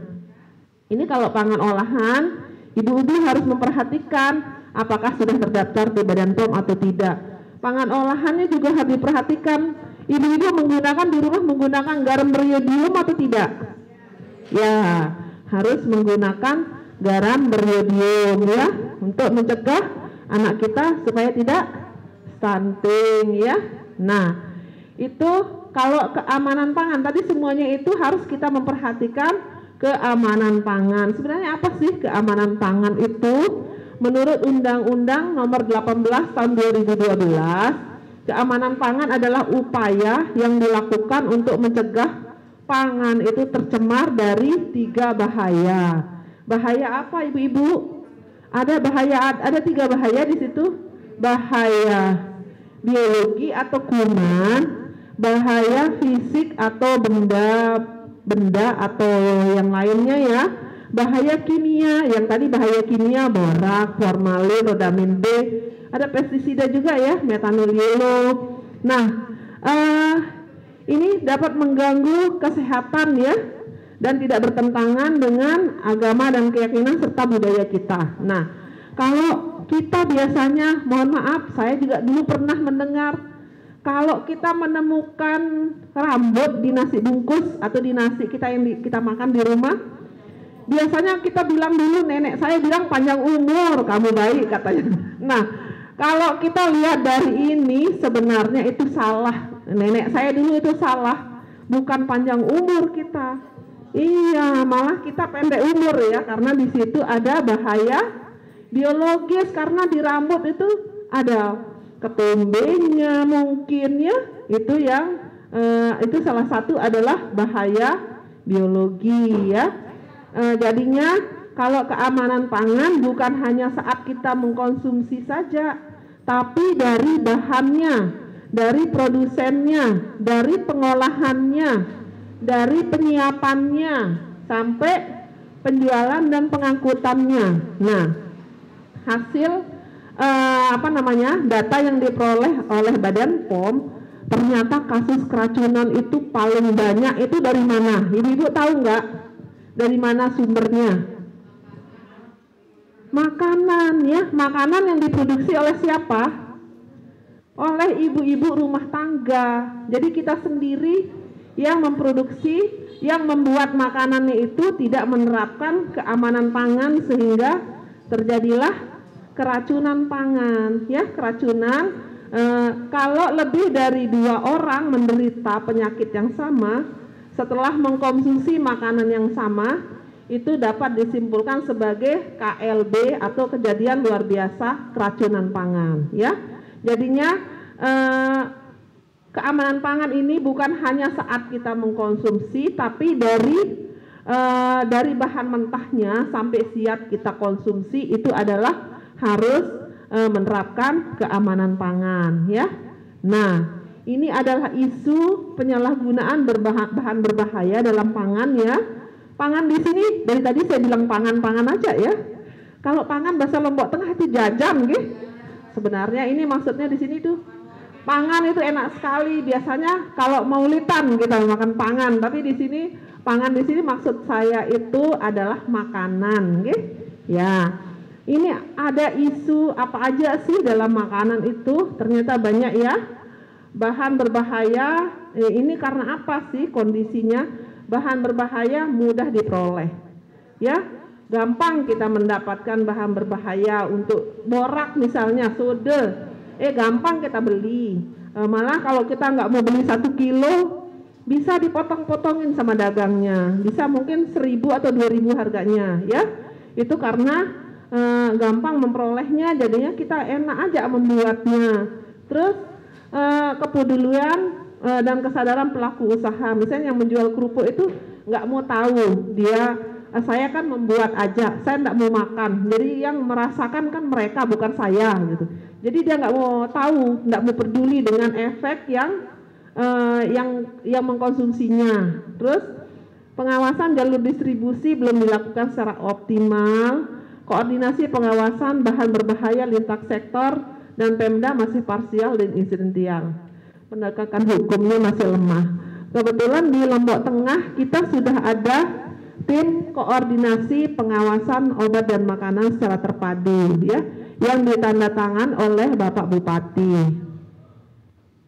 Ini bahan berbahaya yang sering disalahgunakan yaitu Ibu izin yang berdiri. Berbahaya seperti ini ya. Untuk pewarna kita sering menemukan makanan yang mengandung bahan berbahaya rodamin B atau celup kertas. Ini contoh celup kertasnya. Nah, ini contoh celup kertasnya. Ini namanya rodamin B ya. Terus kalau contoh makanannya ini. Ini contoh makanannya ada bintik-bintik merah di makanan yang merahnya itu.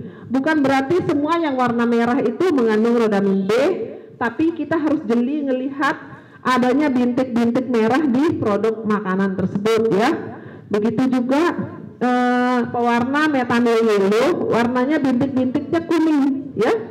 Nah, kalau pengawet di situ bisa mengandung formalin atau pengenyal mengandung boraks ya. Pada bahayanya kenapa sih kok kita tidak boleh ya mengkonsumsi ini? Ternyata menurut WHO itu Badan Kesehatan eh, Dunia itu sudah tidak boleh digunakan. Kenapa tidak boleh? Ternyata bahaya sekali rodamin B itu bisa kanker hati. Ya, kalau metanililo bisa kanker saluran kemih dan kandung kemih. Sedangkan kalau borak atau soda itu kita bisa kerusakan ginjal, kalau formalin bisa kanker. Makanya informasi dari rumah sakit selain COVID ya banyak sekali orang yang cuci darah karena mengkonsumsi kerupuk yang ataupun mie yang banyak beredar yang mengandung bahan berbahaya boraks ya. Nah, ini contohnya. Ini contohnya celup yang tadi ya. Ini contohnya terasi. Nah, kalau terasi kebetulan kita orang apalagi Lombok Tengah ya, pasti suka sekali makan pelecing. Nah, sama kerupuk.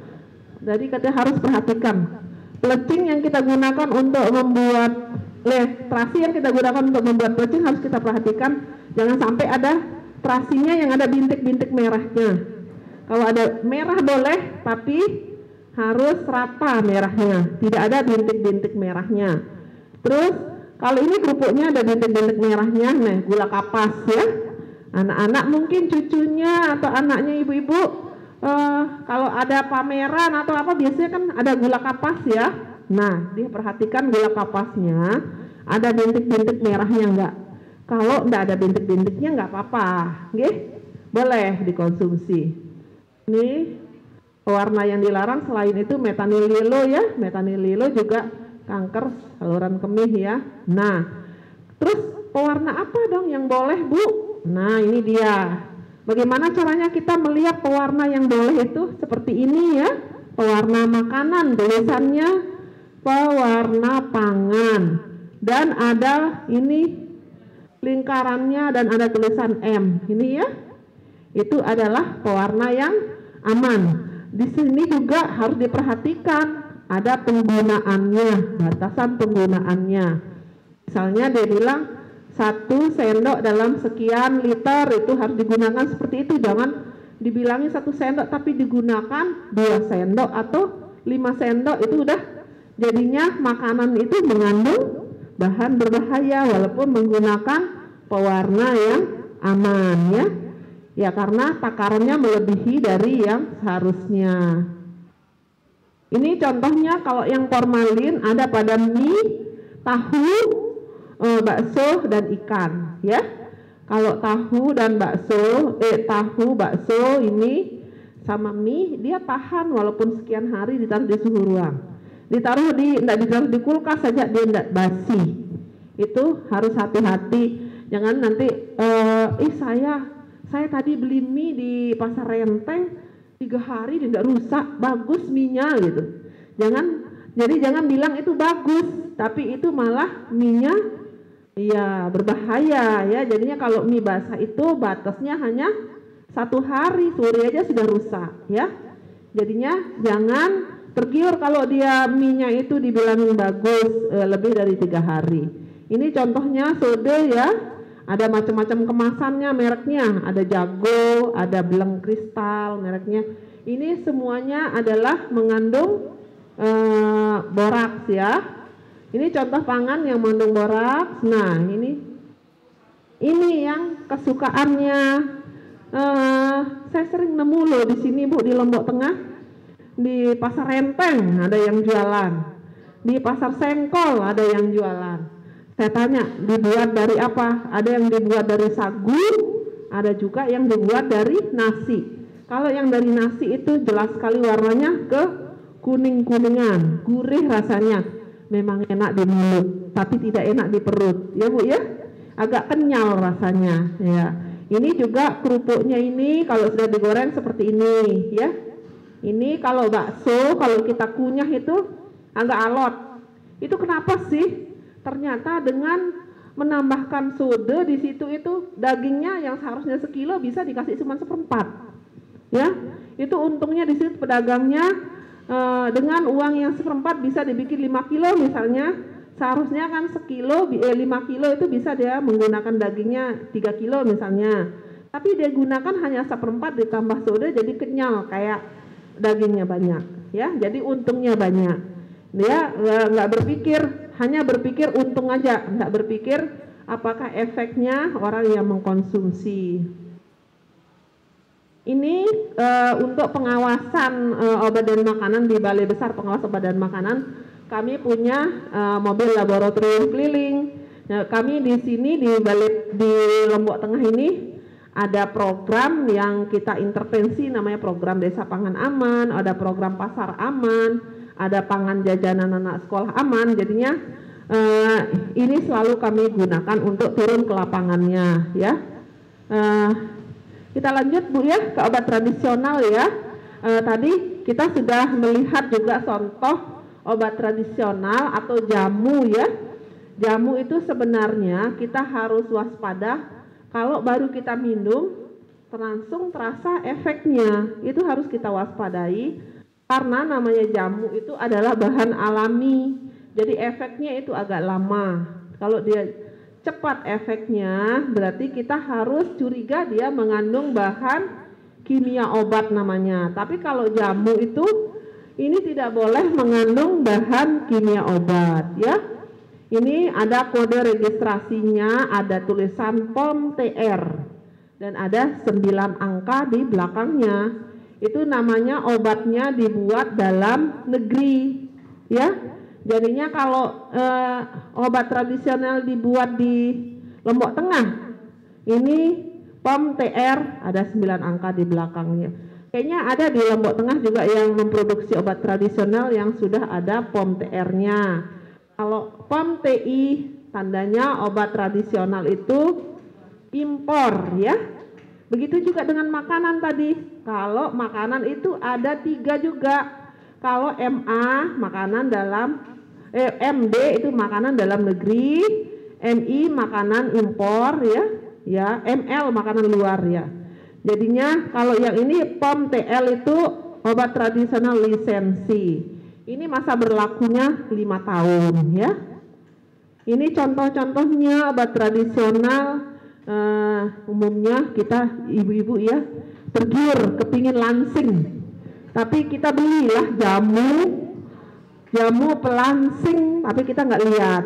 Ternyata jamu itu mengandung bahan kimia obat. Umumnya kalau pelansing itu eh, dia menambahkan obat urus-urus ya supaya kita langsung ke belakang aja atau kencing aja itu bikin cepat langsing tapi itu kan penggunaannya harus pengawasan dokter dan eh, pedagang jamunya ini menambahkan asal-asalan aja tidak sesuai dengan ketentuan yang berlaku misalnya seharusnya 250 dalam satu kapsul dia bisa aja menambahkan lebih dari itu ya Jadinya harus hati-hati beli obat pelansing. Boleh kita lansing, tapi lansing yang sehat. Nanti lansing kita ada jamunya di situ mengandung BKO ternyata efeknya ke ginjal kita yang rusak ya.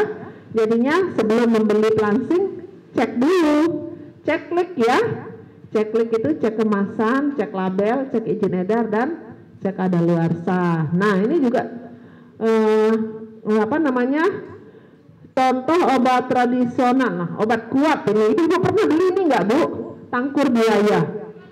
Ya siapa tahu ini uh, bapaknya mungkin bawa di rumah tiba-tiba ngelihat tangkur buaya di rumah. Ini apa ini? Ternyata ini tidak terdaftar di Badan POM ya. Ini obat kuat yang tidak terdaftar di Badan POM karena mengandung BKO atau bahan kimia obat. Ini efeknya uh, kalau kita menggunakan jamu yang mengandung bahan kimia obat uh, tulang kita rapuh ya. Ini seperti ini adalah susunan tulang yang normal ini adalah susunan tulang yang tidak normal atau osteoporosis perapuhan tulang ini juga penyakit ginjal ya ginjalnya rusak ya karena mengkonsumsi jamu yang mengandung bahan kimia berlebihan ini sebenarnya di Badan POM ada mengeluarkan uh, public warning. Mungkin ibu-ibu bisa juga ngeliat uh, sebenarnya di aplikasi BPOM Mobile itu sudah ada public warningnya. Jadi nanti ibu uh, bisa mengunduh aplikasinya di Play Store ya supaya aman apa yang akan kita beli.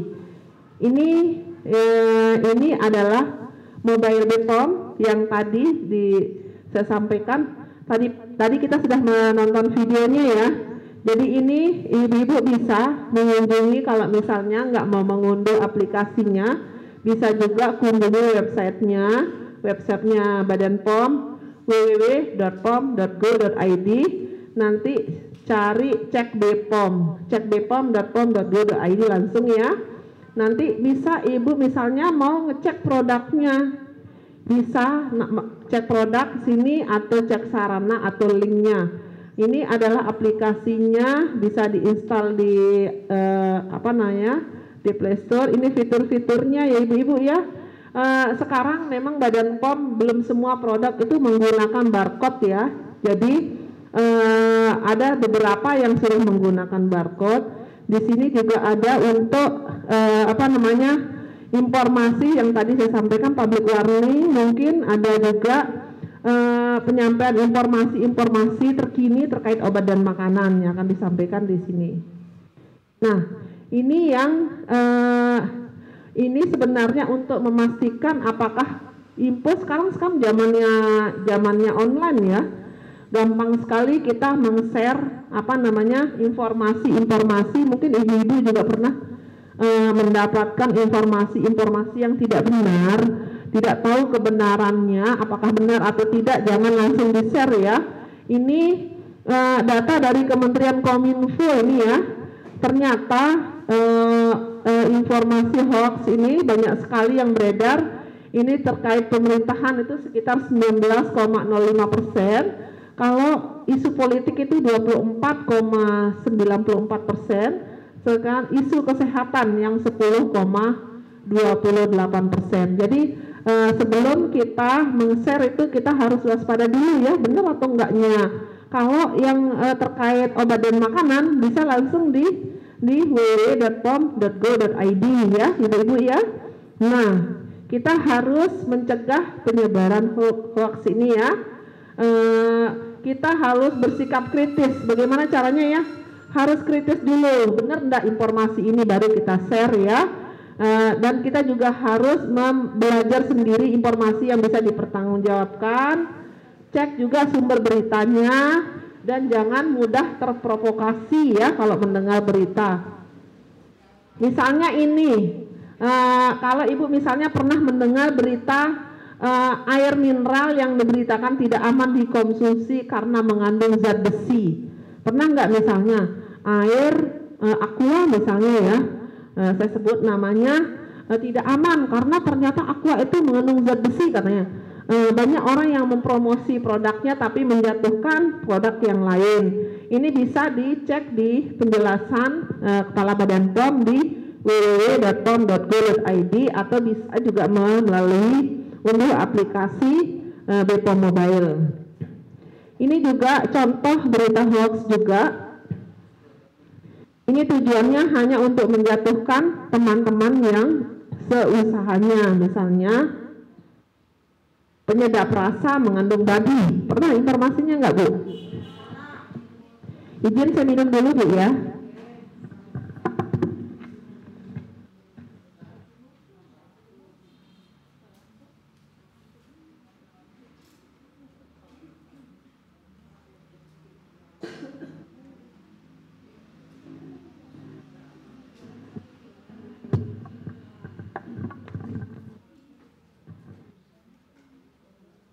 Pernah dengar uh, Sasa atau Roiko atau Masako yang diisukan mengandung babi? Iya pernah ya Bu ya? Ya. Itu palsu ya, hoax itu beritanya. Itu sudah ada klarifikasi dari Badan POM ya, jadi bisa dilihat infonya. Nah, ini dia. Siapa yang nggak kenal ini Ibu-ibu? Ini siapa ini? siapa ini ya gitu. nah, ini pesannya ya. Pesan dari Aldebaran saring sebelum sharing katanya Aldebaran ya. Nah, apa aja bendung peredaran hoax di sekitar kita dengan lakukan 6P. Ini pesannya ya. Perhatikan hati, hati kita dan hati orang yang menerima informasi itu. Nanti kalau orang yang uh, membaca itu beritanya itu marah ya karena kita me menyebarkan hoax itu harus kita perhatikan jangan sampai orang sakit hati ya. Terus pesan berantai juga diakhiri kalau nanti ada isu dia bilang viralkan, itu harus pikir-pikir dulu, sebarkan. Nah, jangan langsung disebarkan ya. E, periksa sumbernya, biasanya tidak menyertakan linknya atau sumber bukti informasinya tidak disampaikan, itu harus kita curigai. Periksa redaksinya, jangan-jangan situsnya abal-abal ya, e, tidak memiliki info kontak redaksinya. Pakai akal sehat. Kita harus pakai akal sehat. Informasinya terlalu aneh. Terlalu mustahil atau mengaku resmi tapi banyak tipunya ya. Anggap saja itu adalah berita hoax. Penyakit kambuhan ya. Kayak yang tadi itu informasi tentang penyedap rasa itu kan udah dari zaman dulu beredar lagi dikeluarkan lagi isunya. Itu adalah uh, beritanya adalah uh, tidak benar ya. Uh, jadinya untuk mengetahui informasi obat dan makanan yang aman uh, apa namanya? Pastikan obat dan makanan yang anda konsumsi aman dengan ceklik. Jadinya yang tadi tadi tadi pagi kita ceklik itu sebenarnya gini bu. Ceklik itu adalah cek kemasan kannya yang pertama kemasan. Cek L-nya itu label cek I-nya itu izin edar dan cek K-nya itu adalah cek kedaluarsa ya.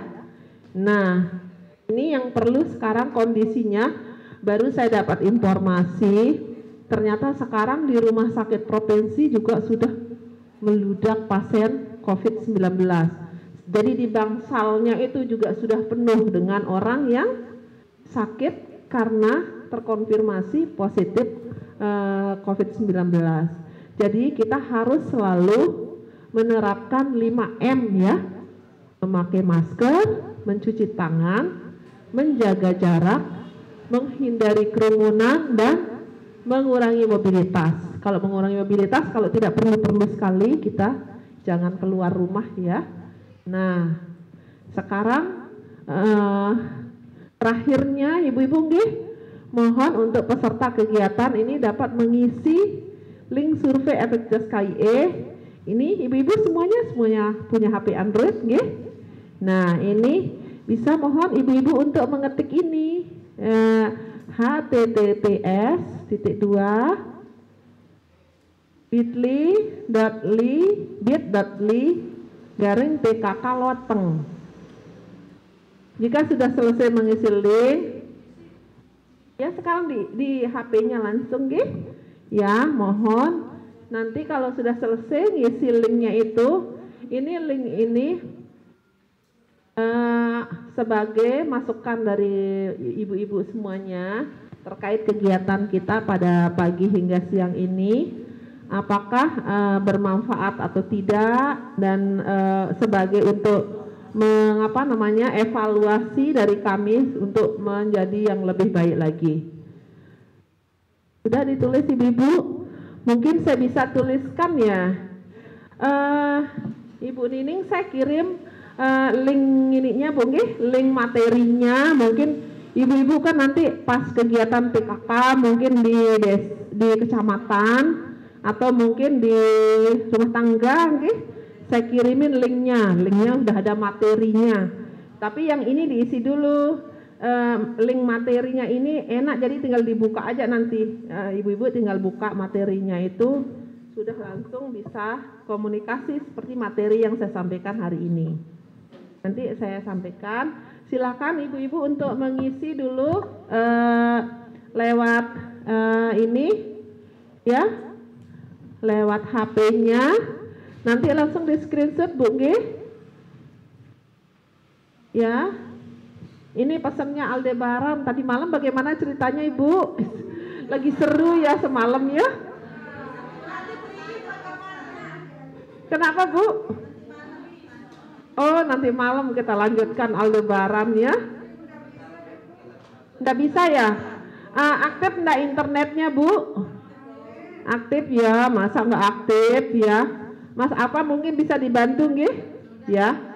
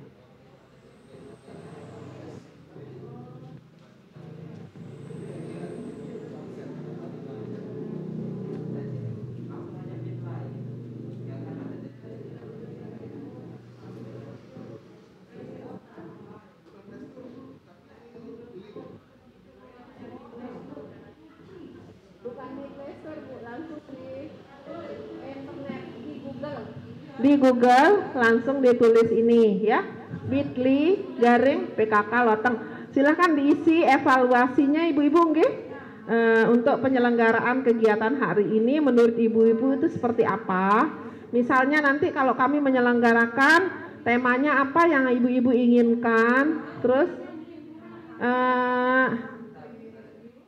Apakah ibu-ibu berminat lagi untuk mengikuti kegiatan ini atau tidak? Itu isinya seperti itu.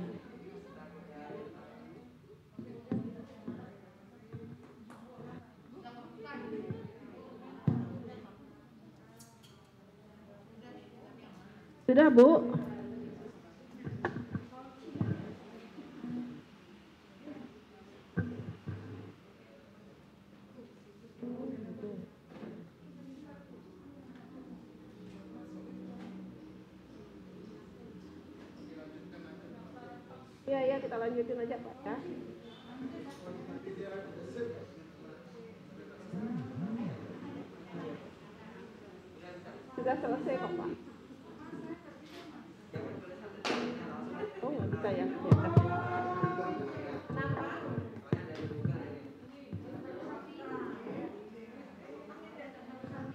Ya, eh, matur tam, oh belum ya?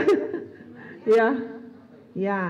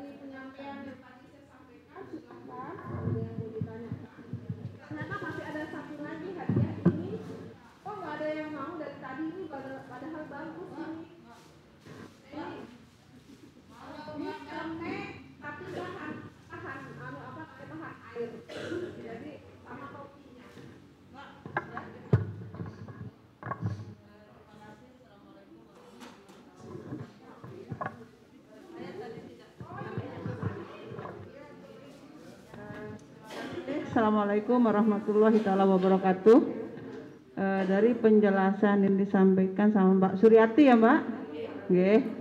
Saya eh, di penjelasan tentang keamanan pangan, saya tidak melihat eh, keamanan pangan bagaimana eh, intervensi Balai POM terhadap keamanan pangan di apa namanya pengusaha-pengusaha pengusaha catering, Mbak. Karena sekarang kan kalau kita lihat eh, apa namanya kalau ada event-event wedding wedding gitu ya jarang kalau apalagi kalau tempatnya di hotel dengan kondisi covid ini kadang-kadang kan kebanyakan melakukan acara itu kebanyakan di hotel dan mereka pasti memakai jasa catering.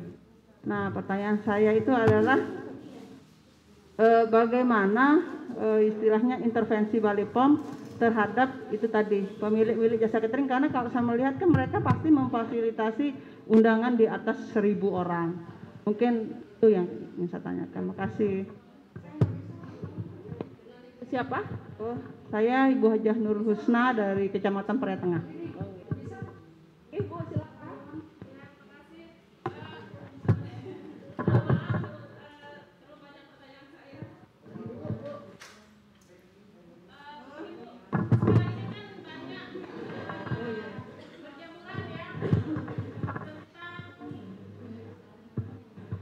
Rumah makan ataupun warung-warung yang menyediakan COD-an.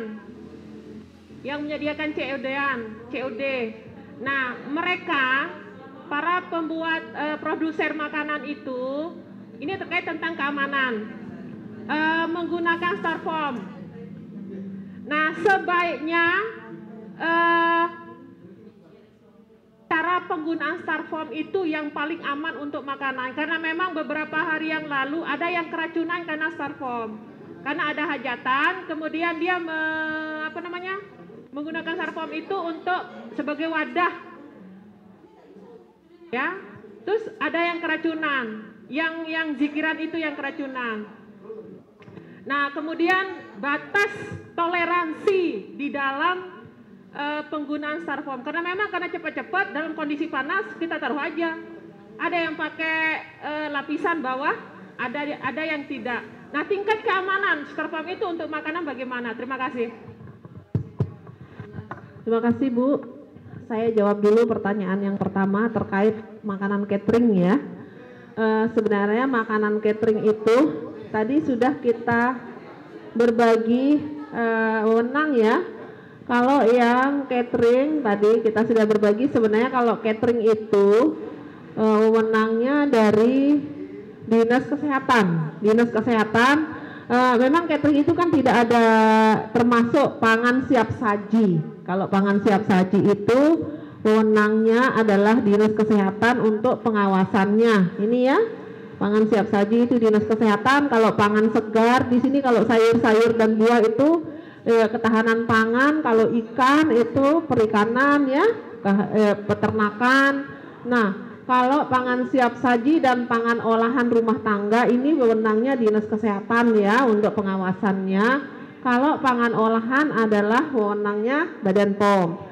Tapi kalau untuk pangan siap eh, pangan catering dan pangan siap saji atau warung-warung itu memang eh, pengawasannya di Dinas Kesehatan, tapi kita juga punya program namanya program Desa Pangan Aman tanggung jawab bersama sebenarnya ya. Keamanan pangan itu tanggung jawab bersama, bukan tanggung jawabnya Dinas Kesehatan saja atau Badan POM saja. Jadinya tanggung jawab eh, bersama termasuk kita sebagai konsumen juga bertanggung jawab bagaimana caranya kita memilih pangan yang aman. Misalnya kita sudah tahu eh, pangannya itu misalnya cateringnya itu tidak menerapkan keamanan pangan, misalnya kita sudah melihat kondisinya makanannya yang disajikan seperti apa, kita jangan mengkonsumsi makanan itu kalau sekiranya makanan itu dapat menyebabkan keracunan ya. Terus kalau misalnya uh, menggunakan styrofoam Bu ya, kita itu punya uh, apa namanya di seluruh dunia itu ada aturannya uh, namanya logo tarapangan. Logo tarapangan itu ada gambar gelas berkaki dan garpu. Di uh, ini pasti ada di wadah makanan walau styrofoam maupun yang apa namanya maupun uh, melamin. Ya, biasanya ada logo tarapangan, gelas berkaki dan garpu itu tandanya aman. Tapi memang styrofoam itu kan memang wajahnya plastik ya. Sebaiknya jangan diisi dengan air apa makanan yang terlalu panas atau dilapisi dengan daun atau kertas nasi supaya tidak langsung bersentuhan ke makannya. Sebenarnya di apa namanya? Yang penting udah ada logo terapangannya. Kayak ini mie mie mie yang bungkus-bungkus itu kan pop mie apa namanya ya ya pop mie kan sebenarnya itu juga kan styrofoam bu ya cuman di situ ada logo tarapangannya di bawahnya. Jadi aman untuk digunakan. Jadinya tidak langsung bersentuhan ke makanan eh, ada logo tarapangannya gitu yang aman. Karena ada lapisannya di situ yang membuat dia aman untuk digunakan. Jadi kalau keracunan karena styrofoam itu sebenarnya bukan karena styrofoamnya mungkin bu ya tapi karena makanannya. Ya bukan karena styrofoamnya. Ya mungkin itu ada lagi bu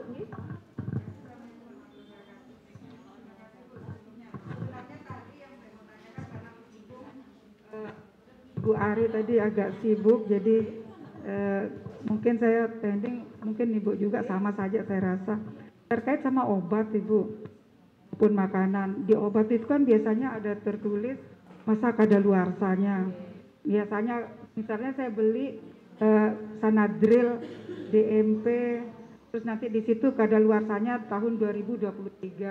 Nah yang ingin saya tanyakan, soalnya saya selama ini melaksanakannya seperti itu. Saya pikir tahun 2023 baru kadaluarsa. Apakah eh, masa kadaluarsa itu berlaku setelah dibuka kemasan, terus berapa saat kemudian baru kadaluarsa atau walaupun sudah dibuka eh, apa namanya kemasannya, misalnya saya beli di tahun 2019 masa kadaluarsa di eh, apa namanya kemasan itu 2023 Eh, apakah sampai 2023 itu atau berapa saat setelah kita buka segel obat itu? Termasuk juga makanan juga saya rasa begitu juga Bu. Saya mau tanyakan. Terus yang kedua terkait sama tertelusur Bu. Kami di perikanan termasuk ada juga keamanan pangan ini Bu. Ada namanya cara budidaya ikan yang baik maupun cara pembenihan ikan yang baik itu menjamin keamanan pangan seperti yang disampaikan juga tadi saya melihat bahwa ada mulai dari proses praproduksi sampai ke pasca produksi maksud saya dari ya sumber bahannya sampai pemasarannya. Nah, nah yang ingin saya tanyakan di, kalau kami ada sertifikasi namanya. Nah di sini untuk pengolahan apakah dia menjamin keamanan pangan maupun tidak itu terlihat dari mananya Bu? Itu saja. Oh ya terus terakhir kaitan sama zat adiktif.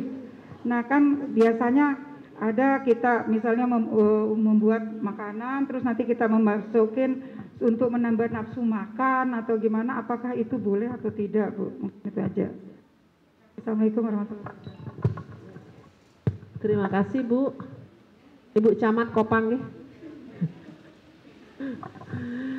Eh, sebenarnya yang pertama tadi apa bu? Yang kadaluarsa ya oh iya. Kalau misalnya obat ya Bu ya, memang kan di, di sana dituliskan sebenarnya kalau kadaluarsa itu definisinya dari kadaluarsa itu adalah batas aman yang diberikan oleh pabrik uh, untuk menjamin bahwa mutu produknya itu aman uh, apa namanya aman untuk dikonsumsi gitu. Uh, jadi bermutu dan berhasiatnya itu masih bisa digunakan sampai dengan tanggal tersebut. Itu dapat dijamin oleh pabriknya. Tapi kalau sudah melewati dari itu uh, pabriknya tidak menjamin kemungkinan khasiatnya juga sudah berkurang gitu atau mungkin ada efek lain yang ditimbulkan gitu. Uh, jadinya kalau sudah melewati dari kadaluarsanya sebaiknya tidak digunakan. Uh, namun untuk obat yang misalnya sudah dibuka ya Bu ya, biasanya ada juga ketetapannya di situ Bu ditulisnya di kemasannya itu. Ada tulisannya misalnya enam bulan setelah dibuka itu tapi harus disimpan di tempat yang ada juga aturannya itu jadi perlunya kita membaca label disimpan di tempat yang terlindung dari cahaya misalnya seperti itu atau disimpan di kulkas itu eh, ada aturannya di, setelah dibuka sekian bulan baru bisa di, digunakan lagi setelah sekian bulan dibuka jadi kita kasih label atau tulisan kapan kita bukanya gitu jadi sebenarnya ada aturannya di labelnya asalkan penyimpanannya juga sesuai dengan ketentuan yang di label. Misalnya kalau eh, apa namanya banyak juga eh, produk yang di warung misalnya ya tidak disimpan di tempat yang sesuai dengan labelnya. Misalnya air minum dalam kemasan, eh, air galon itu disimpan sebenarnya di aturannya itu disimpan terlindung dari cahaya. Tapi disimpannya di tempat yang kena cahaya, tiap hari kena cahaya, kena panas. Itu belum masa kadaluarsa sudah dia ada terlihat bayangan-bayangan kayak apa namanya? kayak ini uh, ini bukan semut ya ada juga kayak semut lumut ya sudah berlumut padahal belum kadaluarsa itu sebenarnya salah penyimpanan itu. Itu juga uh, sebenarnya pabriknya tidak menjamin ya. Seperti misalnya di warung juga kita me, itu disaranin untuk me, me, memajang e, makanan jangan digabung dengan kosmetik. Misalnya ya sebenarnya air itu air itu walaupun dia berbotol tapi bisa nembus baunya kosmetik itu ke dalam. Apalagi air itu dicampur dengan di sebelahnya dengan e, pembersih lantai ataupun obat nyamuk ya. Itu bahaya juga. Nanti kalau kita mengkonsumsinya minuman terasa uh, wangi ya. Atau minuman bau obat nyamuk itu itu tergantung dari penyimpanannya Bu nggih. Yang Oh iya, iya Bu. Coba aja, coba Ibu e, misalnya taruh air minum dekat dengan apa namanya makanan misalnya makanan Indomie. Sebelahnya taruh deh e, apa namanya rinso pasti dia akan bau lama-lama Indomie itu bau rinso itu makanya eh, apa namanya kalau penyimpanan makanan yang di toko itu di kios itu tidak boleh dicampur antara makanan obat maupun kosmetik. Makanan makanan saja eh, obat obat saja atau kosmetik kosmetik saja itu itu memang aturannya Nggih. Terus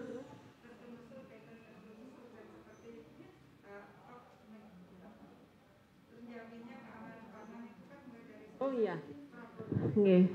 Itu sebenarnya kalau dari Badan POM sebelum seperti yang tadi disampaikan oleh Bu Ari, sebelum mengeluarkan izin edar itu kan harus disertifikasi dulu ya Bu ya dari eh, apa namanya dari sarana produksinya itu eh, kita Badan POM akan berkunjung ke sana untuk lihat sarana produksinya apakah memenuhi syarat atau tidak terus dia juga ada eh, SOP untuk pembuatannya dari bahan mentahnya Terus uh, alur pembuatannya juga harus sudah jelas. Jadinya bisa ditelusur Bu dari situ. Uh, apa namanya? Misalnya uh, ada kesalahan, ada juga seperti ini juga. Uh, ada istilahnya kode registrasi misalnya atau kode batch. Jadinya dia memproduksi tanggal sekian uh, ada kode tertentu yang jadi bisa ditelusuri nanti kalau seandainya dia salah memproduksi di tanggal misalnya tanggal 6. Nanti bisa dia harus punya apa namanya itu e, contoh yang disimpan dari tanggal berapa itu dia apa namanya bisa ditelusur gitu seperti itu Bu.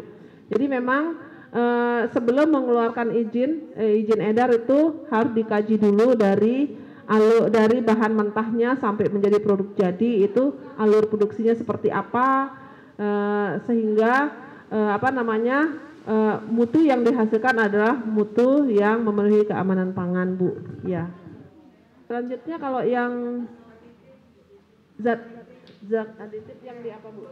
Misalnya penambah nafsu makan atau apa dimasukkan ke makanan itu apakah dia berdampak atau boleh atau gimana? Uh, zat aditifnya seperti apa Bu?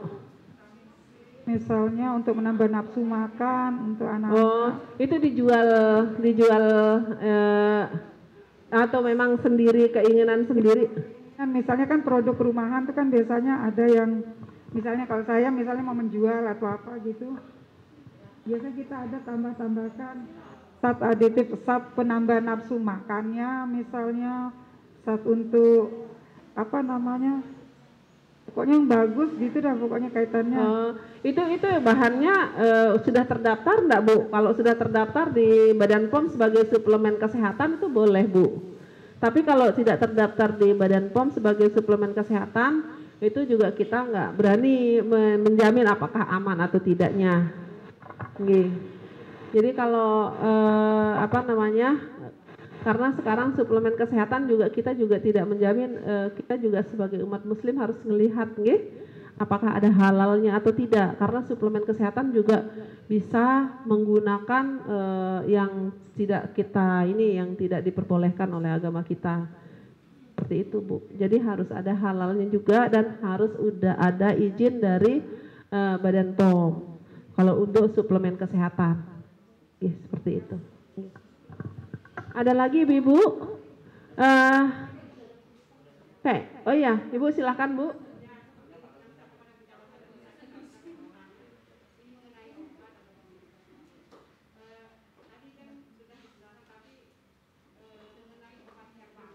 Yang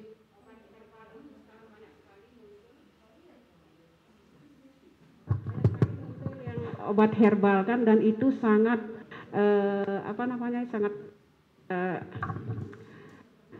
apa namanya sangat menyebar gitu. Nah, bagaimana kalau penggunaan obat obat herbal dan kosmetik herbal?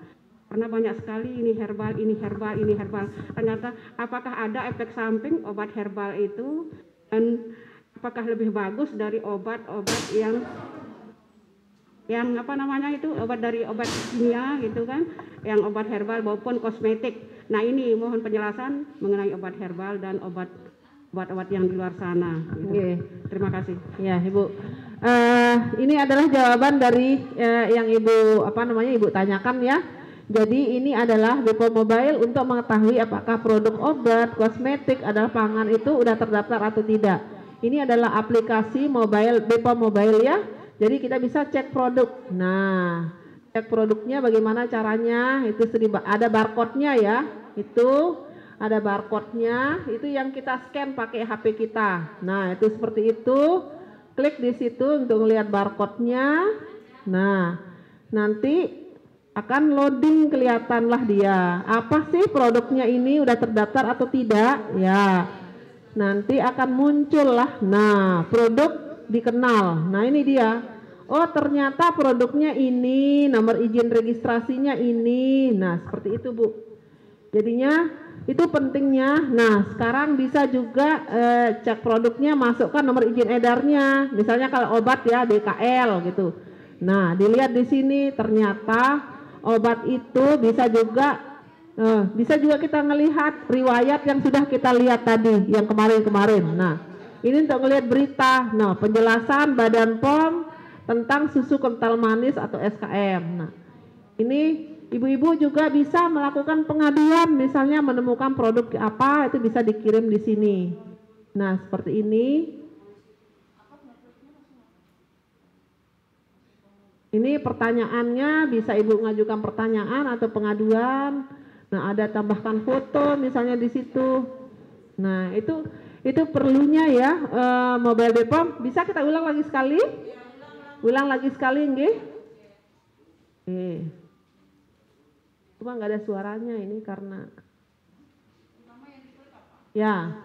Eh, pertamanya kan Ibu unduh dulu aplikasinya. Aplikasinya Bepom Mobile ya.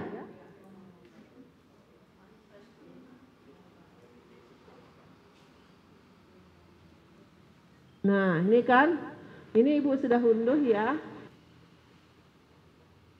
Nah, untuk tujuannya ini bisa di sini verifikasi produk yang sudah yang terdaftar atau tidaknya. Ibu bisa melakukan pengaduan, bisa mendapatkan berita terbaru. Nah, ini Bepom Mobile tulisannya gini ya. Ibu bisa unduh di Play Store. Pilih aja Bepom Mobile. Nah, ini adalah yang sudah diunduh ya. Nah, ini kan tulisannya cek produk. Ibu klik di situ. Nanti setelah diklik di situ, nah ini ini cari di eh, ininya. Yang ini tadi itu bukan ya Bu ya, yang panjang tadi itu bukan. Nah, ini Ibu cocokkan sama eh, ibaratkan HP-nya dengan produknya itu. Nanti akan muncul tulisan Ya. Ini produknya dikenal. Setelah dikenal nanti akan muncul ini. Kalau tidak terdaftar, produk tidak dikenal tulisannya. Ini untuk produk yang dikenal, ya. Ini untuk pengaduan, eh, bisa juga untuk mengetahui izin edar. Kalau misalnya di barcode eh, di produknya itu tidak ada barcode-nya, bisa masukkan nomor izin edarnya. Nomor izin edarnya dimasukkan di situ. Jadi nanti produknya akan keluar. Produk yang Anda cari dikenal gitu langsung muncul. Kalau ini penjelasan-penjelasan misalnya uh, supaya uh, supaya kita tidak tertipu oleh berita-berita yang tidak benar ya. Ada penjelasannya di dari Badan POM. Kalau Ibu juga mau melakukan pengaduan itu bisa juga melalui aplikasi ini gitu. Ini sangat memudahkan kita uh, untuk menjadi konsumen yang cerdas ya, supaya kita tidak di uh, uh, tidak di, ditipu oleh pedagang yang hanya ingin mendapatkan keuntungan yang besar. Ya, mungkin itu yang bisa kami sampaikan uh, pada kesempatan dari pagi hingga siang hari ini. Terima kasih atas perhatian ibu-ibu sekalian. Uh, mohon maaf bila selama pelaksanaan kegiatannya ada yang kurang berkenan atau kurang uh, karena sempurna hanya milik Allah nggih. Ya. Uh, kami atas nama panitia menyampaikan terima kasih dan wabillahi taufik wal hidayah. Wassalamualaikum warahmatullahi wabarakatuh. Mohon informasi ini nanti disampaikan nggih ke uh, apa namanya